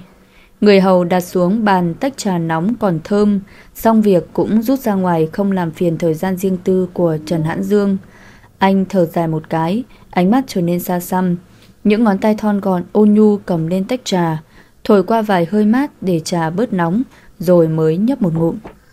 Bên ngoài biệt thự A Đào, trong bóng đêm, bóng dáng thanh mảnh với hơi thở gấp gáp, ngày càng chạy lại gần. Bạch Mạc Uyên chạy bán sống bán chết, thi thoảng đưa tay lên lau mồ hôi. Còn mẹ nó, sao lại có thể đánh rơi được nhỉ? Bạch Mạc Uyên nghiến răng kèn kẹt, chiếc thẻ mà tên công tử bột đó đưa cho cô đã mất tích rồi, bây giờ cô mới hoảng loạn quay lại để tìm. Nhất định là đánh rơi ở đây chứ không đâu được. Hại cô bị tên tài xế taxi chửi đồng cho vài câu vì cái tội đi xe mà không mang theo tiền, tức thật. Đóng cửa rồi. Bạch Mạc Uyên ngắn tũn mặt, nhìn cánh cổng đã khóa trái, trong lòng muốn khóc thét. Tưởng vậy mà làm khó được cô chắc, cửa không mở thì trèo vào. Nhảy bụp xuống dưới đất, Bạch Mạc Uyên vén lại tóc vào tai, rồi chạy gión ra gión rén vào biệt thự. Định bụng lấy xong chiếc thẻ sẽ đi ngay, nên cô không muốn để ai phát hiện. Trong biệt thự quả nhiên đã tắt đèn, chỉ còn vài nơi đèn lờ mờ thắp sáng hành lang. Bạch Mạc Uyên dựa theo trí nhớ tìm quanh phòng ăn, không thấy thẻ, liền chạy lên tầng 2. Chỉ là tối quá, cô không biết mình đã từng ở phòng nào hay là vật lộn với Trần Hãn Dương ở đâu. Chết tiệt, Hôm nay nhà nghèo hay sao mà không bật đèn thế này? Bạch Mạc Uyên thầm chửi thề mấy câu. Mò mẫm bờ tường cả chục phút, cô quyết định sẽ vào từng phòng một để xác định thay vì cố nhớ lại quá khứ. Hai phòng đầu tiên đều không đúng, cho đến phòng số 3. Khe đóng lại cánh cửa, Bạch Mạc Uyên thở phào nhẹ nhõm rồi tìm công tắc bọc đèn, bóng đèn, bật đèn. Cả căn phòng sáng như ban ngày. Ôi, cô giật mình suy tỉ ngã ngửa xuống đất. Lạy chúa, phòng có người, hơn nữa còn là Trần Hãn Dương. Trần Hãn Dương ngồi lặng im ở ghế, thở dồn dập, mặt vẫn cúi xuống. Bạch Mạc Uyên cười cười. Tôi vào nhầm phòng. Dứt lời cô biết điều liền định quay đi Thoát thân Bất ngờ từ phía sau lưng cô Trần Hãn Dương lao tới chặn cửa lại Thậm chí còn chốt trái cửa phòng Này làm cái gì vậy? Bạch Mặc Uyên ngớ ngẩn một hồi. Dám quay lại đây. Có ý đồ gì với tôi? Trần Hãn Dương cất giọng khàn khàn. Bạch Mạc Uyên lạnh gáy quay lại. Vừa hay hai người gần như áp sát mặt nhau. Cô có thể cảm nhận được hơi thở nóng bỏng của Trần Hãn Dương, đôi mắt hơi híp lại khác hẳn ban ngày. Ai mà có ý đồ gì với anh chứ? Tôi làm rơi thẻ rồi, quay lại tìm thôi. Bạch Mạc Uyên đưa hai tay ra đẩy Trần Hãn Dương, sau đó lại thu một tay về cố mở chốt cửa phòng. Tên điên này, tránh ra. Bạch Mạc Uyên trừng mắt. Trần Hãn Dương khỏe hơn thì phải, sức của cô bây giờ còn không làm anh ta lung lay nữa là. Đinh cảm được điều không hay sắp xảy ra, Bạch Mạc Uyên thầm van xin trời đất, mắt chớp chớp nhìn từng biểu cảm trên khuôn mặt Trần Hãn Dương. Mày của anh dần giãn ra, mặt cũng ngày một sát lại Bạch Mạc Uyên hơn. Đến khi Bạch Mạc Uyên nhận ra chuyện gì đang tiếp diễn, thì cô đã đờ đẫn trước nụ hôn bất ngờ mà Trần Hãn Dương đem lại. Ừ, Lưu Manh, tránh ra, tôi hét lên bây giờ. Bạch Mạc Uyên cao giọng, dùng hết sức để đẩy Trần Hãn Dương ra xa mình. Nhân cơ hội cô muốn thoát khỏi đây Vậy mà cô lại bị anh ta kéo tay lại về phía sau. Rất nhanh cô bị đẩy ngã xuống giường. Anh làm cái thá gì vậy? Anh bị điên rồi. Mọc cút ra. Bạch Mạc Uyên tá hỏa Trần Hãn Dương nhất định là bị bỏ thuốc rồi. Người anh ta rất nóng, Thái độ này rất khác. Cần tiền ư? Tôi cho cô tiền. Trần Hãn Dương ập tới, Xé rách cổ váy Bạch Mặc Uyên đang mặc, Cắn mạnh lên xương quai xanh của cô, Cắn đến khi máu chảy ra. Còn Bạch Mặc Uyên không ngừng kêu la rất thảm. Mẹ kiếp, Tám đời tám kiếp, tôi nguyền rủa anh. Bạch Mặc Uyên sợ hãi, Mắt hơi đỏ lên. Không quan tâm đến Bạch Mặc Uyên đang nói gì, Chửi gì Trần Hãn Dương bây giờ chỉ muốn thỏa mãn nhu cầu dục vọng. Vẫn biết người này là Bạch Mạc Uyên. Vậy thì có sao chứ? Cô ta đáng. Ngủ với người khác thì được. Ngủ với tôi lại không được. Tôi cho cô tiền. Muốn bao nhiêu? Ra giá đi. Trần Hãn Dương hung hăng lôi váy của Bạch Mạc Uyên xuống, dùng tay bóp chặt phần thịt mềm mại trước ngực Bạch Mạc Uyên. Bạch Mạc Uyên chảy dòng nước mắt, ngủ với người khác thì được, còn mẹ nó, bà đây chưa từng để ai xé váy động chạm như anh. Chân tay không ngừng giãy đạp, cuối cùng cũng kiệt sức trước Trần Hãn Dương. Anh ta vì ngấm thuốc mà khỏe vô cùng. Cô cắn môi, nhắm chặt mắt, lẽ nào ông trời ghét bỏ cô đến như vậy? Lần đầu của cô lại đem trao cho tên đáng ghét này vậy hay sao? Đáng hay sao? Ngậm chặt nhũ hoa hồng, Trần Hãn Dương khẩn trương đưa tay sờ mó khắp mọi nơi trên cơ thể của Bạch Mạc Uyên, khám phá từng nơi kỳ bí nhất của người phụ nữ. Thi thoảng Bạch Mạc Uyên lại dùng mình khóc nức, còn Trần Hãn Dương lại xem đó là những biểu hiện của sự rẻ tiền. À, Bạch Mạc Uyên mở bừng mắt, Nhìn Trần Hãn Dương bên trên mình đang cố đưa thứ đó vào trong cô từ bên dưới. Thứ chướng nóng đó khiến cho cô phải run rẩy. Không được, xin anh đây. Tôi sẽ không bao giờ quay lại đây đâu. Tha cho tôi. Trần Hãn Dương, anh bị bỏ thuốc rồi. Mau tỉnh táo lại đi. Bạch Mạc Uyên dùng tay cấu chặt hai bả vai của Trần Hãn Dương. Nhìn anh ta nhăn mặt là biết đau đến mức nào rồi. Vậy mà anh ta không chịu buông. Bạch Mạc Uyên, Đừng cố tỏ vẻ ngây thơ trong sáng trước mặt tôi. Cô không khác gì gái bán hoa cả. Cười tươi đi. Cô sắp đón một vị khách quý. Trần Hãn Dương đỏ mặt Đôi mày hơi nhíu vì di chuyển vào khó khăn. Mồ hôi lấm tấm trên trán. Chưa kịp phản kháng Bạch Mặc Uyên đã đau xé da xé thịt bên dưới hạ thân mình. Cảm giác như vừa bị một con dao cắm sâu vào cơ thể. Đau! Bạch Mặc Uyên òa khóc. Trần Hãn Dương kinh ngạc. Từ lúc gặp Bạch Mặc Uyên đến giờ anh chỉ thấy được sự hống hách của cô ta. Vậy mà ngay lúc này cô ta lại khóc chỉ vì anh cố chiếm hữu. Như một phản xạ, Trần Hãn Dương nhìn xuống, lúc này anh mới phát hiện ra từ phía trên ga giường của mình đang chảy tõng xuống một dòng máu đỏ, máu trinh tiết. Cô... Trần Hãn Dương mở to mắt. Bạch Mạc Uyên căm hận chảy nước mắt. Từng mạch máu li ti hiện lên càng khiến cô đáng thương hơn. Cô cắn môi đến dỉ máu, còn người thì không ngừng run rẩy. Cả đời người con gái Bạch Mặc Uyên giữ gìn, nay chỉ trong một giây mà vĩnh viễn trở thành phụ nữ. Người lấy đi trinh tiết của cô lại chính là tên đàn ông vô lại nhất mà cô từng gặp, một tên cứng đầu và ngông cuồng. Trần Hãn Dương nuốt một ngụm nước bọt, động tác có mấy phần cứng ngắc, tuy dục vọng trào lên nhưng mà giây phút này anh không biết phải làm sao cho đúng lẽ. Anh nhìn người phụ nữ bên dưới mình bằng ánh mắt đỏ ngầu, cuồng dục, xem lẫn bối rối hiếm thấy. Cô vậy mà là gái còn trinh ư? Trần Hãn Dương khó mở lời. Anh thở gấp gáp. Mồ hôi và tóc của Bạch Mặc Uyên hòa hợp dính bết trên má. Cô giận đến run người, nhắm mắt lại gào khóc. Tuy nghe mạnh mẽ nhưng có chút đau lòng. Tên khốn Trần Hãn Dương. Anh khinh bỉ tôi, anh coi thường tôi. Tôi đều không bận tâm. Anh cho rằng tôi giết người, nói rằng tôi rẻ tiền. Tôi đều có thể chấp nhận. Nhưng mà cơ thể tôi, con người tôi cho đến vài phút trước đều trong sạch. Chỉ vì anh mà bị vấy bẩn đến kinh tởm. Anh là đồ khốn nạn, khốn nạn. Khi Bạch Mạc Uyên khóc, mặt mũi càng thêm đỏ. Đối với Trần Hãn Dương bây giờ dù cô có van xin khẩn cầu, buông lời nhục mạ cũng không còn tác dụng. Anh tự nhận biết được mình đã bị bỏ thuốc, hơn nữa chính anh không kiềm chế được bản thân. Anh đưa tay lên vuốt tóc Bạch Mặc Uyên sang một bên, chạm vào má của cô, ánh mắt vẫn lạnh buốt. Cái thân thể trong sạch của cô trong mắt tôi không có giá bằng mạng sống của Tiểu Hồng. Hôm nay ở đây, cô nên biết điều. Dứt lời, Trần Hãn Dương không cảm xúc, giữ chặt cổ tay Bạch Mặc Uyên trên đỉnh đầu, liên tục đâm mạnh, khiến cho Bạch Mặc Uyên không khỏi đau đớn. Đúng là cô gái mạnh mẽ, ngay từ nhỏ cái gì cũng không sợ. Nhưng chuyện này ngoài sức chịu đựng của Bạch Mặc Uyên, đáng sao? Cô tự hỏi mình đáng hay sao? Phải ngồi tù oan 2 năm, phải chịu nỗi nhục từ chính gia đình, bạn bè, người đời. Tại sao Bạch Mặc Uyên cô muốn sống một đời bình an lại khó khăn đến như thế? Trong lúc cơ thể như bị sâu xé, Bạch Mặc Uyên chỉ biết rên la tuyệt vọng. Cô hối hận. Hối hận ngày hôm đó chặn xe của Trần Hãn Dương. Hối hận đến biệt thự này. Hối hận tất cả.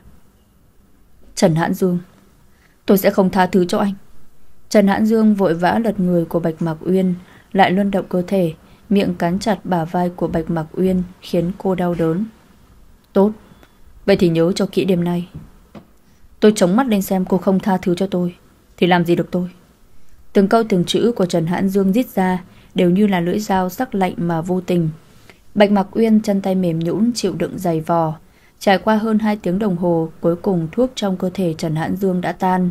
Anh ngồi ở ghế trông thuốc hút, mồ hôi nhễ nhại nhìn về phía trước giường, nơi Bạch Mạc Uyên đang nằm bất động. Hết một điếu thuốc, lại đến điếu thuốc khác, Trần Hãn Dương tiếp tục châm lửa rồi lại rụi đi. Bản thân không thể tin mình vừa làm trò vô lương tâm với một người phụ nữ, đặc biệt chính là Bạch Mạc Uyên. Tuy anh ghét cô ta, ghét cay, ghét đắng muôn trùng, nhưng chính vì vậy Trần Hãn Dương chưa từng nghĩ mình sẽ đem Bạch Mặc Uyên lên giường như ngày hôm nay. Chuyện này chính anh không thể lường trước, càng thấy bản thân không có tội. Trong mắt anh, Bạch Mặc Uyên xứng đáng chịu đau đớn mà không thể chết. Mới chút đó đã không chịu được, ấy vậy mà lại luôn lớn tiếng oai hùng với anh. Bạch Mặc Uyên, vừa rồi còn chẳng phải khóc lóc van xin anh. Hổ giấy ư. Chúng ta cần nói chuyện. Trần Hãn Dương khàn giọng lên tiếng, phá tan bầu không khí im ắng. Mùi thuốc lá thơm phẳng phất quanh phòng khá dễ chịu. Đáp trả lại lời đề nghị của Trần Hãn Dương là hơi thở đều đều của Bạch Mặc Uyên. Cô thậm chí một cái gật đầu cũng không có, chỉ một mực nằm sấp trên giường, tóc đều đã che đi khuôn mặt danh mãnh. Khó có thể tưởng tượng ra Bạch Mặc Uyên đang nghĩ gì, đang cảm thấy như thế nào, cục diễn ra tiếp theo sẽ ra sao. Còn Trần Hãn Dương lại suy nghĩ rất đơn giản. Chẳng phải người như cô ta rất thích tiền ư? Đêm đầu tiên của cô ta anh có thể mua được. Chỉ cần cô ta ra giá Và cút khỏi mắt của anh. Thấy Bạch Mạc Uyên không trả lời Trần Hãn Dương lộ vẻ mặt khinh thường. Anh đứng dậy thong dong bước đến gần giường nhìn cô. Tôi không thích bị người khác ăn vạ. Bạch Mạc Uyên không nói không rằng, một cử động nhỏ cũng không có. Trần Hãn Dương sức chịu đựng có giới hạn, một người nói phải có một người nghe. Bạch Mạc Uyên đây chính là muốn anh tức điên. Không muốn nhiều lời với người kém hiểu biết, Trần Hãn Dương quay lưng đi vào phòng tắm. Tiếng nước chảy xuống sàn, phòng tắm cách nơi Bạch Mạc Uyên nằm cũng không xa. Cô từ từ ngồi dậy, quấn lấy khăn quanh mình. Cơ thể khắp nơi là vết cắn của Trần Hãn Dương nhìn thật chói mắt. Hạ thân đau buốt như bị đâm thủng.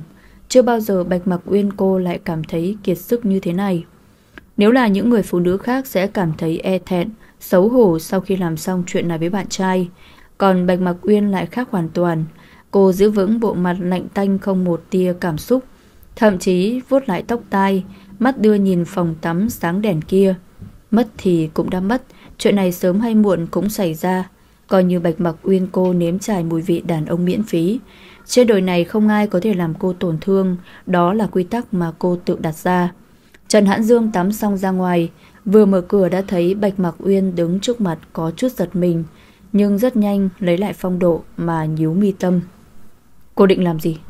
Bạch Mặc Uyên tháo khăn ở ngực ra thả xuống, bộ dạng lõa thể với nhiều vết cắn lộ ra ngay trước mắt của Trần Hãn Dương, một cơ thể được cho là hoàn hảo. Muốn tắm chung không? Bạch Mặc Uyên cười khinh bỉ. Trần Hãn Dương thoáng sững mình, rất nhanh đi qua Bạch Mặc Uyên không trả lời. Người phụ nữ này đúng là giỏi lật mặt. Giây trước khóc lóc thút thít như thỏ. Giây sau đã thành con hồ ly. Vẫn có thể lết dậy khỏi giường, thể lực rất tốt. Trần Hãn Dương lấy trong tủ lạnh ra chai nước lọc uống một ngụm, đưa mắt nhìn Bạch Mạc Uyên vẫn đứng yên tại chỗ kia. Sâu thẳm trong tim Bạch Mạc Uyên có chút run rẩy, nhưng cô vẫn quay lại, dù hạ thân đau đớn nhưng cô vẫn coi như không có chuyện gì xảy ra. Nếu có thể trả thêm tiền, tôi vẫn phục vụ anh. Lời nói của Bạch Mạc Uyên khiến Trần Hạn Dương kinh tởm đến buồn nôn. Anh siết chặt chai nước trong tay đến biến dạng.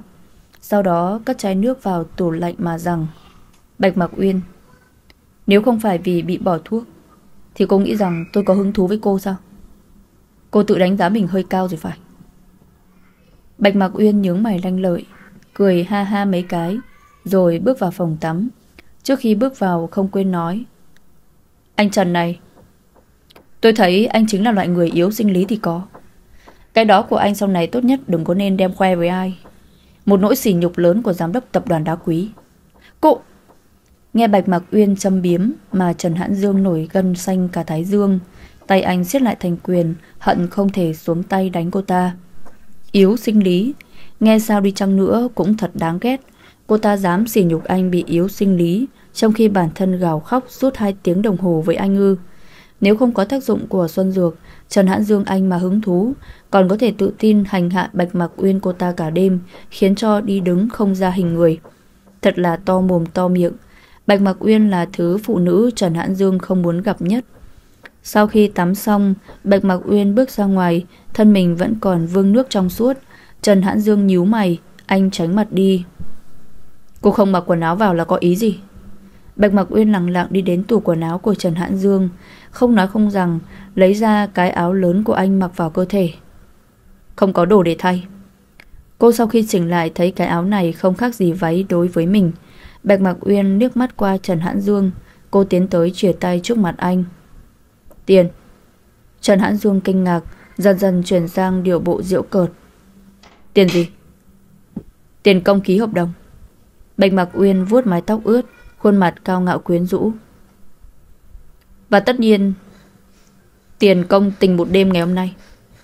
Trần Hãn Dương quả nhiên dùng thay đổi sắc mặt, Hàn khí trên người ngày càng hạ xuống thấp. Đúng là anh có nghĩ xấu về Bạch Mặc Uyên nhưng cũng không thể ngờ người như cô ta Ngay cả cơ thể mình còn không coi trọng. Một lần thanh toán bằng tiền Là có thể coi như không có gì xảy ra. Giá giá Trần Hãn Dương hạ giọng, Ánh mắt tối tăm chiếu thẳng vào Bạch Mặc Uyên. Cô bình tĩnh, khoanh tay trước ngực, Nhìn xuống người đàn ông đang ngồi ở ghế. Ánh mắt có phần danh mãnh, Khó đoán tâm tư. Năm cái thẻ đen không giới hạn. Năm cái thẻ đen không giới hạn. Còn không dám chắc cả đời Bạch Mạc Uyên có dùng hết hay không. Cô ta vậy mà dám đưa ra điều kiện này với anh. Trần Hãn Dương thông thả đứng dậy, Tiến sát mình tới chỗ Bạch Mạc Uyên. Hai khuôn mặt chỉ cách nhau vài cm ngắn ngủi. Bạch Mặc Uyên, Cô nghĩ mình có giá như vậy sao? Trần Hãn Dương dùng tay vuốt nhẹ cầm của Bạch Mặc Uyên, Ngay sau đó dùng sức thêm thành bóp mạnh. Bạch Mặc Uyên coi vậy mà không phản kháng Càng không tỏ ra sợ hãi người đàn ông này, Cô nở nụ cười khó khăn, Đôi mắt tròng chọc nộ khí. Sao? Một giám đốc lớn như anh, Mà chút tiền cũng tính toán à? Nếu như không có thì anh nói là không có. Tôi có thể hiểu và thông cảm. Không có. Trên đời này cái gì Trần Hãn Dương cũng không thiếu. Không thiếu nhất chính là tiền. Sợ Bạch Mạc Uyên bơi trong biển tiền của anh cả đời không đến đích. Cô ta hà cớ gì phải bơm kích anh để thực hiện được những gì mình muốn. Quả nhiên, ở trong tù đã khiến cô ta thâm hiểm hơn. Có thể giết người, Nay còn biết dùng bản thân làm công cụ đào mỏ. Trần Hãn Dương Anh bây giờ chính là cho rằng, Có khi Xuân Dược hôm nay chúng phải Cũng là do một tay Bạch Mạc Uyên sắp xếp. Tôi đương nhiên là có. Chỉ là tôi nghĩ thân xác của cô Chỉ đáng vài đồng. Trần Hãn Dương nhướng mày nhích mép. Ồ, Ra là vậy.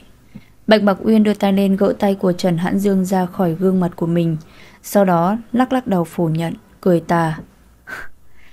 Thân xác vài đồng này của tôi, Chẳng phải anh đã đặt miệng qua một vòng sao? Anh như vậy là tự hạ thấp mình rồi. Nghĩ lại cảnh ân ái vừa rồi giữa hai người, Thoáng bối rối lướt qua đôi mắt của Trần Hãn Dương. Lúc đó là anh không kiềm chế được Do có tác dụng của thuốc. Cô ta vậy mà dám đem ra bắt bẻ. Nếu không bị cô hại Tôi sẽ không làm ra những điều kinh tởm ấy. Bạch Mặc Uyên chột tái mặt. Anh ta cho rằng những điều hai người vừa làm là kinh tởm đã đành. Nhưng lần này anh ta lại buộc tội cô là người bỏ thuốc Cố tình muốn trèo lên giường để lấy tiền của anh ta. Sự tự tôn của Bạch Mặc Uyên luôn cao ngất trời, cái gì cũng có thể chịu, nhưng bị xúc phạm quá nhiều lần thì cô không thể tha thứ. Cô nhích khóe môi xinh xắn, đưa tay lên túm cổ áo của Trần Hãn Dương, khiến anh ta có chút kinh ngạc không phòng thủ. Trần Hãn Dương Tôi thấy anh thật giống một con bò. Cặp mắt đen lạnh của Trần Hãn Dương bỗng căng ra, hai đầu mi tâm nhau lại, anh trợn trừng nhìn Bạch Mặc Uyên dám xúc phạm mình. Biết vì sao giống con bò không? Bạch Mặc Uyên thong dong kể chuyện, khuôn mặt bình tĩnh, và tia bất cần thoát ẩn thoát hiện càng làm cho cô thêm cuốn hút. Bò là một giống loài rất khôn, nhưng mà chưa từng được ai công nhận. Thậm chí nhiều tên ngốc còn bị ví là ngu như bò. Vì bò và người không cùng đẳng cấp. Súc sinh và kẻ có tri thức. Anh xem. Anh chính là con bò thông minh nhất mà tôi từng gặp. Nhưng mà anh ngu ngốc ở cái si mê và không biết chấp nhận sự thật. Cô thở dài rồi lại tặc lưỡi tiếc nuối. Ai... Coi như là tôi bố thí tiền lại cho anh. Một xu tôi cũng không lấy. Dứt lời, Bạch Mặc Uyên buông tay dứt khoát, đành thép đưa mắt nhìn Trần Hãn Dương từ đầu đến cuối, vẫn không nói một lời kia. Tự cảm thấy ít ra mình đã giữ giá được lòng tự trọng, lập tức muốn rời khỏi đây nhanh nhất có thể. À, chợt tay của Bạch Mặc Uyên đau nhói, Quay lại cô đã thấy mình bị Trần Hãn Dương giữ Gương mặt tối sầm tỏa ra đầy sát khí Vậy thì để con bò này dạy dỗ lại cô Trần Hãn Dương cao giọng đẩy người Bạch Mặc Uyên vào sát chân tường Hung hăng nghiến răng nghiến lợi Đột ngột va đập vào tường khiến lưng của Bạch Mặc Uyên đau nhức Cô nhíu mày nhăn mặt Nhìn Trần Hãn Dương như một lần nữa hóa thú Có chút trột dạ suy nghĩ cách thoát Bên ngoài phòng, cuộc cãi vã của Trần Hãn Dương và Bạch Mạc Uyên đều bị Xuân Xuân nghe thấy. Cô ta che miệng, hốc mắt đỏ au cầm phẫn. Vậy có nghĩa là Trần Hãn Dương đã ngủ cùng với à đàn bà đê tiện đó. Vừa rồi đột nhiên bị lão phu nhân gọi tới xoa bóp vai gáy. Xuân Xuân không thể không nghe. Đến khi xong việc, lọt vào tai, lại là tin tức xấu xa này. Đây chẳng phải là tự cô ta nối giáo cho giặc, đem yêu tinh đến tận miệng của Trần Hãn Dương hay sao? Chết tiệt chết tiệt, Cô ta không chấp nhận, Không thể chấp nhận được Xuân Xuân siết chặt nắm đấm, Trợn mắt quay lưng đi gấp rút Bạch Mặc Uyên lần này đừng hỏng để cô ta bỏ qua Trần Hãn Dương không thể lọt vào tay người khác Anh chỉ có thể là của một mình Xuân Xuân này Mãi mãi. Cửa phòng Trần Hãn Dương một lúc sau liền được mở từ bên trong. Bạch Mặc Uyên bước ra ngoài Phủi phủi tay thản nhiên Vừa nhức mắt đã bắt gặp một đám người. Sao tự dưng lại đông đủ thế này? Lão phu nhân còn có bố mẹ của Trần Hãn Dương. Ả Xuân Xuân cũng có mặt. Ngoài lão phu nhân ra, ai cũng nhìn Bạch Mặc Uyên bằng ánh mắt hình viên đạn, nhìn từ đầu tóc cho đến cái áo rộng thùng thình của đàn ông mà cô đang mặc. Mẹ, cô ta bước ra từ phòng anh ấy. Xuân Xuân đưa tay lên chỉ tận mặt Bạch Mặc Uyên, giọng điệu như kết tội thành công. Vương Ái Phi tức giận tái mặt, vội lao đến định túm tóc của Bạch Mặc Uyên, nhưng cô lại nhanh chân hơn một bước mà tránh đi. Bác gái có gì từ từ nói. Sao lại muốn động thủ như vậy? Bạch Mặc Uyên hơi chu chu cái miệng vẻ hờn dỗi, khiến mẹ của Trần Hãn Dương càng không nhịn được cục tức. Bà ta đưa tay lên vỗ về ngực của mình rồi nói Tôi sống đến gần tuổi này rồi. Chưa từng thấy ai vô liêm sỉ như cô. Thân là đàn bà phụ nữ Lại đích thân tìm cách leo lên giường của đàn ông. Bố mẹ cô giúp cuộc có ăn có học đàng hoàng không? Sao lại dạy ra cái loại như cô thật là bất tài? Bạch Mặc Uyên biết có chuyện không hay Đoán chắc là do Xuân Xuân giở trò Cô bình thản đưa tay lên gãi ngứa lỗ tai Rồi thổi phù phù mấy cái. Bác gái giỏi ghê. Đúng là bố mẹ cháu không ăn học đàng hoàng. Nhưng bác mà có hơi nặng lời với cháu Cháu tổn thương đấy ạ. Cô, cô! Vương Ái Phi thờ hồng hộc định xông tới Thì bị cả chồng lẫn Xuân Xuân cản lại Hai bên hai tay. Mẹ, mẹ bình tĩnh một chút đi. Cô ta lèo mồm lèo miệng vuốt lưng cho Vương Ái Phi mấy cái. Trần Hải Bố của Trần Hải Dương lạnh lùng nhìn Bạch Mạc Uyên. Xong cái bộ mặt này giống hệt Trần Hãn Dương, Cũng không làm cho cô sợ hãi. Xuân Xuân, Chuyện là thế nào? Lão phu nhân đột nhiên lên tiếng, Mắt niếc xéo ra phía sau. Cô ta như đợi đến thời cơ này từ lâu, Tiến lên vài bước bám lấy tay của lão phu nhân Thuật lại sự việc đã tự giản dựng sẵn. Lúc tối, con đi lấy nước. Ở trong bếp không bật đèn. Nhưng con có thể thấy được rõ nửa khuôn mặt của Bạch Mạc Uyên. Cô ta đang đổ thứ gì đó vào trong trà. Nói đến đây, cô ta nhìn Bạch Mạc Uyên tự tin. Rõ ràng Bạch Mạc Uyên đã đi, Lại còn quay trở lại. Đoán là có điểm chẳng lành. Còn theo dõi thì thấy trà đã được đưa đến phòng của anh Hãn Dương. Sau đó Sau đó con nghe thấy Bịa đặt. Bạch Mạc Uyên lạnh lùng cắt ngang, Cô một tay choàng eo, Một tay hất tóc ra phía sau lưng. Bằng chứng đâu? Tôi cần cô đưa ra. Xuân Xuân gắt gao. Chính mắt tôi nhìn thấy Không cần bằng chứng đâu ra. Đủ giết người. Cô giết Tiểu Hồng chưa đủ. Bây giờ còn muốn quyến rũ cánh trai tôi sao? Nhìn hai vợ chồng nọ rõ ràng thấy bọn họ tin tưởng Xuân Xuân vô điều kiện. Bạch Mặc Uyên cũng không thể giải thích Càng không muốn giải thích chuyện này. Vô vị, nhạt nhẽo. Tôi cần một câu chửi mới lạ hơn. Thật đê tiện. Vương Ái Phi gào lên. Nói con trai tôi đâu? Bạch Mạc Uyên nhích mép tránh sang một bên, Coi như ra hiệu mọi người vào trong nhìn. Tất cả vừa đi vào đã há miệng trợn mắt. Một mình Bạch Mạc Uyên vậy mà có thể dùng dây thắt lưng trói Trần Hãn Dương nằm im ở trên giường. Anh hai, Xuân Xuân cao giọng lao tới ngay lập tức, Chân tay luống cuống, Muốn tháo thắt lưng đang trói Trần Hãn Dương ra. Trần Hãn Dương bị mọi người trong nhà chứng kiến Mình bị tụt lại so với một người phụ nữ. Hơn nữa còn để cho cô ta dùng karate hạ gục. Trói tay lại cho nên hết sức xấu hổ. Không cả muốn mở mắt ra nhìn, Gương mặt chính là không cam tâm. Hạn Dương, Con đang làm cái gì vậy? Vương Ái Phi đi tới, cao giọng nhíu mày. Từ trước đến nay ai cũng biết Trần Hãn Dương sức khỏe hơn người. Nay sao có thể bị con nhỏ giết người xấu xí kia hạ bệ chứ? Chuyện này đồn ra ngoài đúng là mất mặt. Được Xuân Xuân tháo tay, Trần Hãn Dương từ từ đứng dậy ngay ngắn. Anh nhìn người thân sau đó lại liếc mắt tới chòng chọc Nộ khí chiếu vào Bạch Mặc Uyên đang cười hà hê, khoanh tay trước ngực, dựa người vào cửa chứng kiến kịch hay. Bà nội, bố mẹ, sao mọi người lại đến đây?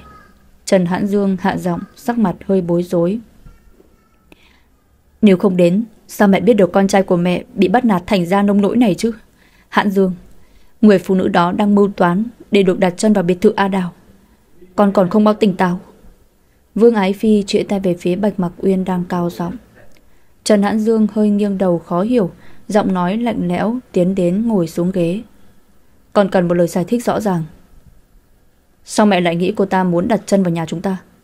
Xuân Xuân bấy giờ hít sâu một ngụm khí lạnh, hai tay siết chặt thành quyền, ánh mắt đảo qua Bạch Mặc Uyên, cô ta còn chưa lên tiếng, Bạch Mặc Uyên đã đoán ra trước Xuân Xuân lại định dựng nên một vở kịch để kết tội cô dụ dỗ Trần Hãn Dương. Vốn cả nhà này cũng chẳng có ai tin tưởng cô. Trong mắt họ, Cô chỉ là một kẻ giết người từng ngồi tù. Chỉ bằng đứng đây chứng kiến kịch hay, Không quên tặng cho Xuân Xuân Một chàng pháo tay về nghiệp diễn xuất của mình. Anh hai, Chính mắt em nhìn thấy, Cô ta bỏ gì đó vào trà của anh, Nhất định là muốn hại anh. Xuân Xuân cất giọng đáng thương, Đi đến ngồi xuống bên cạnh Trần Hãn Dương, Bám lấy tay anh mà nói tiếp. Một mình em không đánh lại cô ta. Anh biết đấy, Em yếu ớt như thế này, Làm sao chống lại Bạc Mạc Uyên được chứ? Năm xưa cô ta làm em trọng thương là quá đủ rồi. Bạch Mạc Uyên thở hát ra khinh miệt, Lưỡi tặc mấy cái. Khi đó cô không đánh chết cô ta là may, Đồ hai mặt giả tạo. Sống tổn hại không khí trong lành, Chết làm ô nhiễm mặt đất thiên nhiên. Ấy thế mà khi nghe lại chuyện xưa, Lại khiến cho Trần Hãn Dương lạnh mặt đến đáng sợ. Rất rõ ràng anh đang binh vực Xuân Xuân cho rằng em gái của mình nói gì cũng đúng. Thế nên, Em đã gọi cho mọi người cùng đến. Hy vọng anh không bị làm sao cả. Nhưng chắc chắn là đã muộn rồi. Có phải Bạch Mạc Uyên và anh đã Xuân Xuân đưa tay lên che miệng, Xúc động không nói thành lời, Đôi mắt ánh nước buồn rầu. Mọi chuyện không như em nghĩ đâu. Ngoan. Trần Hãn Dương nhìn Xuân Xuân giây lát, Rồi đưa tay lên xoa xoa đầu của cô ta. Ánh mắt bắt đầu trở nên hờ hững mà đáp trả. Xuân Xuân hay suy nghĩ kỹ lưỡng. Đôi lúc hơi hấp tấp, Bà nội và bố mẹ không cần bận tâm. Giữa con và cô ta không có gì xảy ra cả. Con Vương Ái Phi mấp máy đôi môi, Nếu không có gì xảy ra, Tại sao Trần Hãn Dương lại bị Bạch Mạc Uyên nó trói ở trên giường chứ? Bỗng một chàng vỗ tay vang lên từ phía sau lưng bọn họ, Khiến ai cũng phải quay đầu nhìn. Bạch Mạc Uyên điềm tĩnh đi tới. Bộ dạng có chút lả lơi Mọi hành động của cô đều khiến cho nam nhân nào đó ngứa mắt. Diễn hay. Rất hay. Bạch Mạc Uyên cười diễm nệ đến hút người, Khóe miệng sắc lạnh nhìn Xuân Xuân. Tôi có nên trao cho cô một giải thưởng diễn xuất không? Trẻ tuổi như vậy, Mà bỏ lỡ sự nghiệp của mình, Quả là đáng tiếc. Xuân Xuân tối sầm mặt mày, Tay siết chặt cánh tay của Trần Hãn Dương, Âm thầm lườm nguyết Bạch Mạc Uyên mà không ai biết. Bạch Mạc Uyên, Cô không thể qua mắt chúng tôi đâu. Đồ hồ ly. Bạch Mạc Uyên làm bộ giật mình ôm lấy ngực thống khổ. Trời ơi, hồ ly. Tôi ước gì làm hồ ly còn chẳng được. Lão phu nhân từ đầu đến cuối im lặng chứng kiến sự việc, Bây giờ mới nghiêm túc hỏi Trần Hãn Dương cho ra lẽ. Hãn Dương, Thành khẩn nói ra sự việc. Bà nội muốn biết. Trần Hãn Dương lập tức thu lại dáng vẻ lạnh lẽo trước mặt lão phu nhân. Nhưng anh lại không nói ra sự thật vừa rồi Mà phủ nhận mạnh mẽ. Không có gì xảy ra cả bà nội. Nhìn anh ta cũng giống Xuân Xuân không kém. Bạch Mạc Uyên thật tình muốn cho qua chuyện này rồi rời khỏi đây. Nhưng trước khi đi, Bằng mọi cách, cô muốn tên Trần Hãn Dương phải hối hận khi động chạm vào cô. Sao anh có thể vô tình đến như thế chứ? Hãn Dương, anh đã làm tôi đi đứng còn khó khăn đó. Thật mãnh liệt nha. Tôi rất thích. Căn phòng bỗng chốc yên nắng đến lạ. Bạch Mạc Uyên Cô cút ngay cho tôi. Trần Hãn Dương đứng bật dậy chỉ tay về một hướng.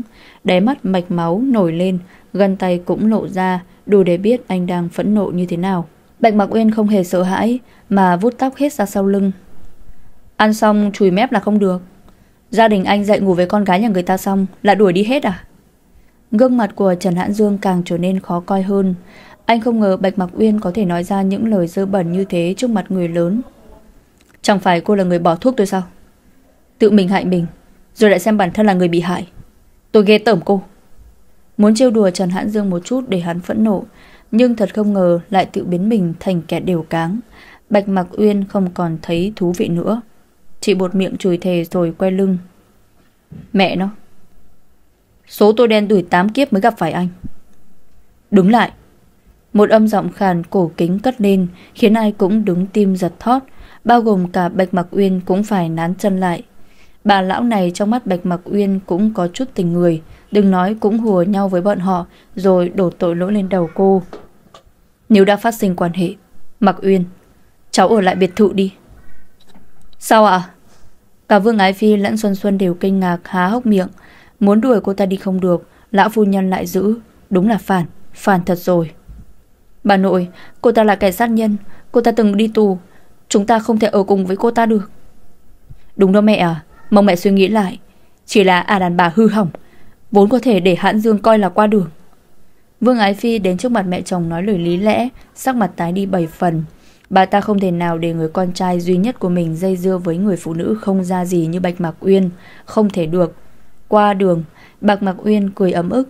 Dù sao cô cũng là người trong sạch. Có lẽ bọn họ thấy cô thô thiền, không lễ phép. Nhưng không có nghĩa nhân cách của cô vứt đi cho chó gặm. 21 năm nay, Bạch Mạc Uyên này chưa từng làm một điều gì trái ngược lương tâm. Điều này mấy ai thấu, mấy ai hiểu. Lão phu nhân mặc kệ hai người kia phản đối, bà đi tới trước mặt Bạch Mạc Uyên, cười vui vẻ nâng tay cô lên vỗ về. Dù sao cháu cũng chưa tìm thấy người thân Vậy thì cứ ở lại đây, Bà giúp.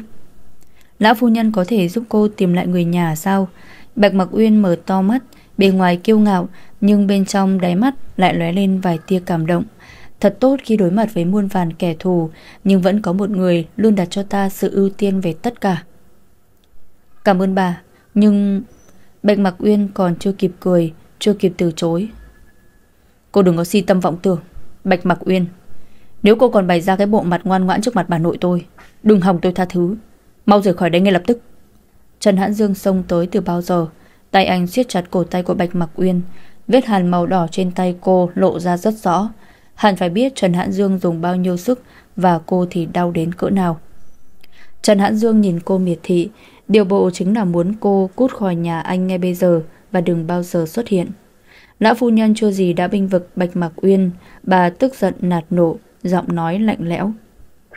Muốn nó đi, vậy thì con cũng đi. Đừng bao giờ quay lại biệt thự A Đào. Bạch mặc Uyên kinh ngạc không biết phải làm sao. Bà nội, chỉ vì cô ta mà bà đuổi con, đáng không chứ? Đáng. Dứt lời nhân lúc Bạch mặc Uyên phân tâm, Lão phu nhân liền kéo tay cô ra khỏi căn phòng khó thở này. Đến một căn phòng được trang trí kiểu cách trang hòa cổ điển. Trong phòng chủ điểm đều là đồ gỗ nội thất đắt tiền. Bạch Mạc Uyên bước vào ngắm nhìn không ngừng suýt xoa. Wow, đẹp quá. Đây mới gọi là mỹ cảnh nhân gian chứ. Lão phu nhân đóng cửa xong nhìn Bạch Mạc Uyên đang đi xung quanh phòng bà ngắm nghía. Còn chạm tay qua vài món đồ, mắt sáng lấp lánh, nếu cháu thích căn phòng này Hãy ở lại Bạch Mạc Uyên kinh ngạc quay đầu Nhìn lão phu nhân bằng ánh mắt nghi ngờ Nửa tà nửa chính Lão phu nhân Bà nhường phòng này cho cháu. Thì bà ở đâu? Bà cười hiền hậu đi tới ngồi xuống giường Đáp trả Bạch Mạc Uyên ân cần. Nhà của bà rộng rãi như vậy, Cháu không lẽ còn lo thiếu phòng để ở? Bạch Mạc Uyên tặc lưỡi một cái công nhận, Đi tới một bức ảnh treo tường phía xa xa ngắm nhìn, Vừa đi vừa trả lời. Cũng đúng, Nhà bà giàu thật đấy. Lão phu nhân từ đầu tới cuối Chỉ nhìn Bạch Mặc Uyên đi đi lại lại Thong thả để cho cô thoải mái Muốn làm gì thì làm. Bởi bà biết cô là một người có tính cách hoang dại Không thích sự gò bó Còn có chút mạnh mẽ Và không biết sợ ai là gì. Một cô gái hiếm gặp càng hiếm có. Ngắm nhìn ảnh gia đình của họ xong Bạch Mặc Uyên bĩu môi than thầm trong lòng. Cái tên Trần Hãn Dương đó đối với bà nội hắn thì có vẻ ngoan ngoãn, lễ phép, yêu thương em gái, nghe lời bố mẹ. Chỉ đối với mỗi Bạch Mạc Uyên cô là khó ưa, đã yếu còn thích ra gió. Nhớ lại cảnh tượng trước đó, Bạch mặc Uyên có chút ân hận trong lòng. Chẳng qua khi đó hắn bị chuốc thuốc, thân thể khỏe mạnh bất thường. Còn cô vì mất cảnh giác mà không ra đòn đối được với hắn. Bằng không đối với các chiêu võ tuyệt thế của cô, Trần Hãn Dương chỉ còn nước đi gặp tổ tiên. Bạch Mặc Uyên đi tới giường định ngồi xuống với lão phu nhân. Nào ngờ vừa đặt mông xuống, đã giật thoát mình đứng dậy ngay. Sao thế? Lão phu nhân lo lắng hỏi. Cô cắn môi siết chặt tay thành nắm đấm. Mẹ kiếp, tên Trần Hãn Dương hành hạ thân xác của cô liên tục trong một thời gian dài. Hạ thân cô giờ đau bút đến ngồi cũng không ngồi được. Chết tiệt, tên chết chùm chết băm. Không sao, bà đừng để ý. À, cháu đứng cho khỏe ạ. Bạch Mạc Uyên nặn ra một nụ cười trí trá đến nỗi khó coi thế là cùng. Tuy lão phu nhân gật đầu không ý kiến, cũng chẳng nói gì, nhưng bà thầm cười và trong lòng đã tự đưa ra câu trả lời rồi. Chắc chắn Hạn Dương đã làm con bé đến nỗi ngồi còn khó khăn. Bà này, lát nữa cháu đến phòng khác cũng được. Cứ theo ý của cháu. Bạch Mặc Uyên gật gù Rồi lại nhìn bà của Trần Hãn Dương Trong lòng trước giờ vẫn chưa dập tắt được sự nghi ngờ Tại sao trong khi mọi người đều kết tội cháu Bà lại không làm như vậy. Lão phu nhân đứng dậy, Chậm rãi chắp tay ra phía sau lưng, Đến bên cửa sổ, Ngắm nhìn ánh trăng bên ngoài. Người thông minh sẽ không nhìn người bằng tai, Mà nhìn bằng mắt Và trái tim. Lồng ngực Bạch Mặc Uyên có hơi run rẩy Khi nghe lão phu nhân nói ra câu này. Thật nhiều ẩn ý bên trong, Nhưng rõ ràng bà đang binh vực cô Chứ không giống đám người kia. Thấy cô đi tù thì liền cho rằng Là người không ra gì. Nghe tội danh giết người, liền khinh thường. Trong mắt không coi cô là người, Mà là quái nhân. Đúng là trong mắt người khác, Cô hỗn xuộc không biết mình biết ta. Chẳng lẽ bà ấy không thấy cô như vậy hay sao? Chuyện vừa rồi Thực sự cháu không biết gì hết. Nửa đêm nửa hôm, đột nhập vào nhà bà là sai. Nhưng cũng là vì cháu quay lại lấy đồ làm rơi. Mong bà hiểu. Bạch Mạc Uyên rất hiếm khi kiên nhẫn giải thích điều gì đó cho ai nghe. Nhưng đối với lão phu nhân, Dường như cô đã có cái nhìn khác về bà. Bà biết. Lão phu nhân quay lại, Bà hạ giọng. Mạc Uyên, Bà chưa từng nghĩ xấu về cháu. Trong giây lát, Bạch Mạc Uyên liền á hầu không nói gì. Vài giây tiếp theo mới cúi đầu lặng lẽ Đi đến chỗ cửa sổ. Hai tay đặt lên thành cửa sổ, Hóng gió bên ngoài. Giá như ai cũng tin cô vô điều kiện như lão phu nhân, Thì cuộc đời này đã đối xử nhẹ nhàng với cô hơn một chút. Cô đã không trở thành bạc mạch uyên của ngày hôm nay. Trò chuyện với lão phu nhân nửa tiếng đồng hồ, Bà dẫn cô sang căn phòng bên cạnh để cô nghỉ ngơi. Nói nếu xa thì bà không yên tâm cho lắm. Bạch Mạc Uyên chiều lòng bà nên ở lại. Giờ cũng đã dạng sáng, Cô nằm trằn trọc trên giường không thể nào ngủ nổi. Sau khi ra tù, Cô muốn làm lại cuộc đời Kiếm cho mình lấy một công việc đàng hoàng tử tế. Hàng ngày cùng chị gái cười vui tươi, Không ngờ rắc rối nối tiếp rắc rối, Khiến cô không còn đường lui thuận tiện. Ngay bên cạnh cô đổ tiếng chuông điện thoại. Đây là điện thoại của Chu Hùng cho cô. Với tinh ý vốn có, Cô biết ngay người gọi đến là anh ta chứ không phải ai khác. Não của anh bị uống nước à? Mấy giờ rồi còn gọi cho tôi làm phiền vậy hả? Đầu dây bên kia vừa nghe thấy âm giọng lạnh lẽo, Có chút dọa dẫm của Bạch Mạc Uyên. Liền cóng lạnh sống lưng, Nghĩ lại cảnh tượng mình bị Bạch Mạc Uyên dễ dàng vật ngã ra đất mà sợ hãi. Định rủ cô đi ăn đêm. Đi không? Chu Hùng cao lãnh, cất giọng, Âm giọng thanh cao như cũ, Phóng đãng vô cùng. Tôi ngủ rồi. Hơn nữa tôi không thích ăn đêm. Đừng có hòng rủ dê. Tên dê cụ lăng nhăng. Bạch Mạc Uyên vừa nhắm mắt vừa tuôn ra một tràng chửi rủa khiến đối phương câm nín tối sầm cả mặt mày mà chưa muốn tắt điện thoại. Chu Hùng đang ngồi trong một phòng ba đủ ánh đèn riêng tư. Nhạc đã được tắt nhưng bên mình vẫn là phụ nữ khó tránh được vài âm thanh phóng túng của cô ta lọt vào điện thoại truyền đến tai Bạch Mạc Uyên. Cái con heo nái nhà anh có phải là người không thế? Bạch Mạc Uyên nhăn mặt, suốt ngày cận kề sắc dục. Tên này đúng là trăng hoa lố bịch. Cô nguyền rùa cả đời cũng không sinh được con nối dõi. Tôi đương nhiên là người thì mới có thể nói chuyện được với cô. Nếu như không đi thì thôi. Tạm biệt nhé. Chu Hùng cụt hứng, ngắt điện thoại ngay sau đó. Một ly rượu được đưa lên môi. Bạch Mạc Uyên phẫn nộ vứt điện thoại sang một bên lầm bầm. Sau đó cũng chìm vào giấc ngủ lúc nào không hay. Mấy ngày sau đó, không lúc nào Bạch Mặc Uyên được yên ổn trong biệt thự A Đào, khi mà cả Vương Ái Phi lẫn Xuân Xuân đều âm tính tống cô ra khỏi đây. Trần Hãn Dương thì từ khi biết cô được lão phu nhân giữ lại đến hôm nay, vẫn ở bên ngoài chưa chịu về nhà. Vậy cũng tốt, Bạch Mặc Uyên cô thích nhất là khi không phải gặp mặt tảng đá như hắn ta. Đang nằm lười biếng trong phòng xem tivi, Bạch Mặc Uyên chợt nghe thấy tiếng gõ cửa của lão phu nhân. Bà vào đi, cửa không khóa. Lão phu nhân đi vào, nhìn thấy Bạch Mạc Uyên liền đi tới ngồi xuống, bộ mặt nghiêm túc nói. Đã tìm thấy bố mẹ của cháu rồi.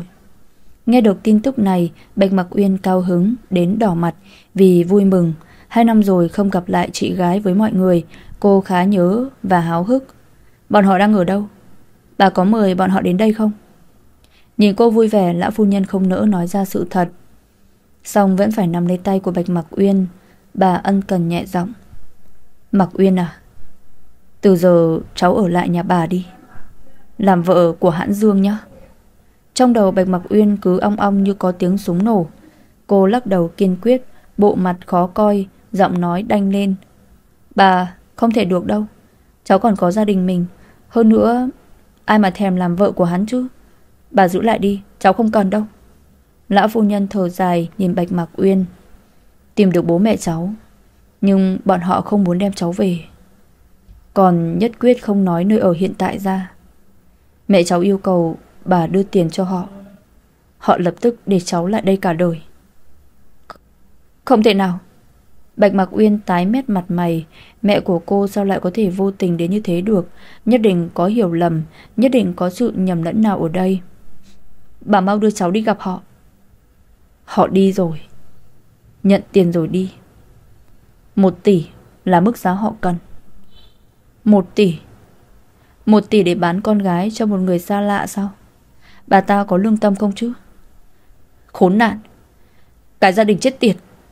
Bạch Mặc Uyên đứng dậy, dùng tay đấm mạnh vào tường, Răng nghiến ken két vào nhau, Mắt nổi vài sợi tơ đỏ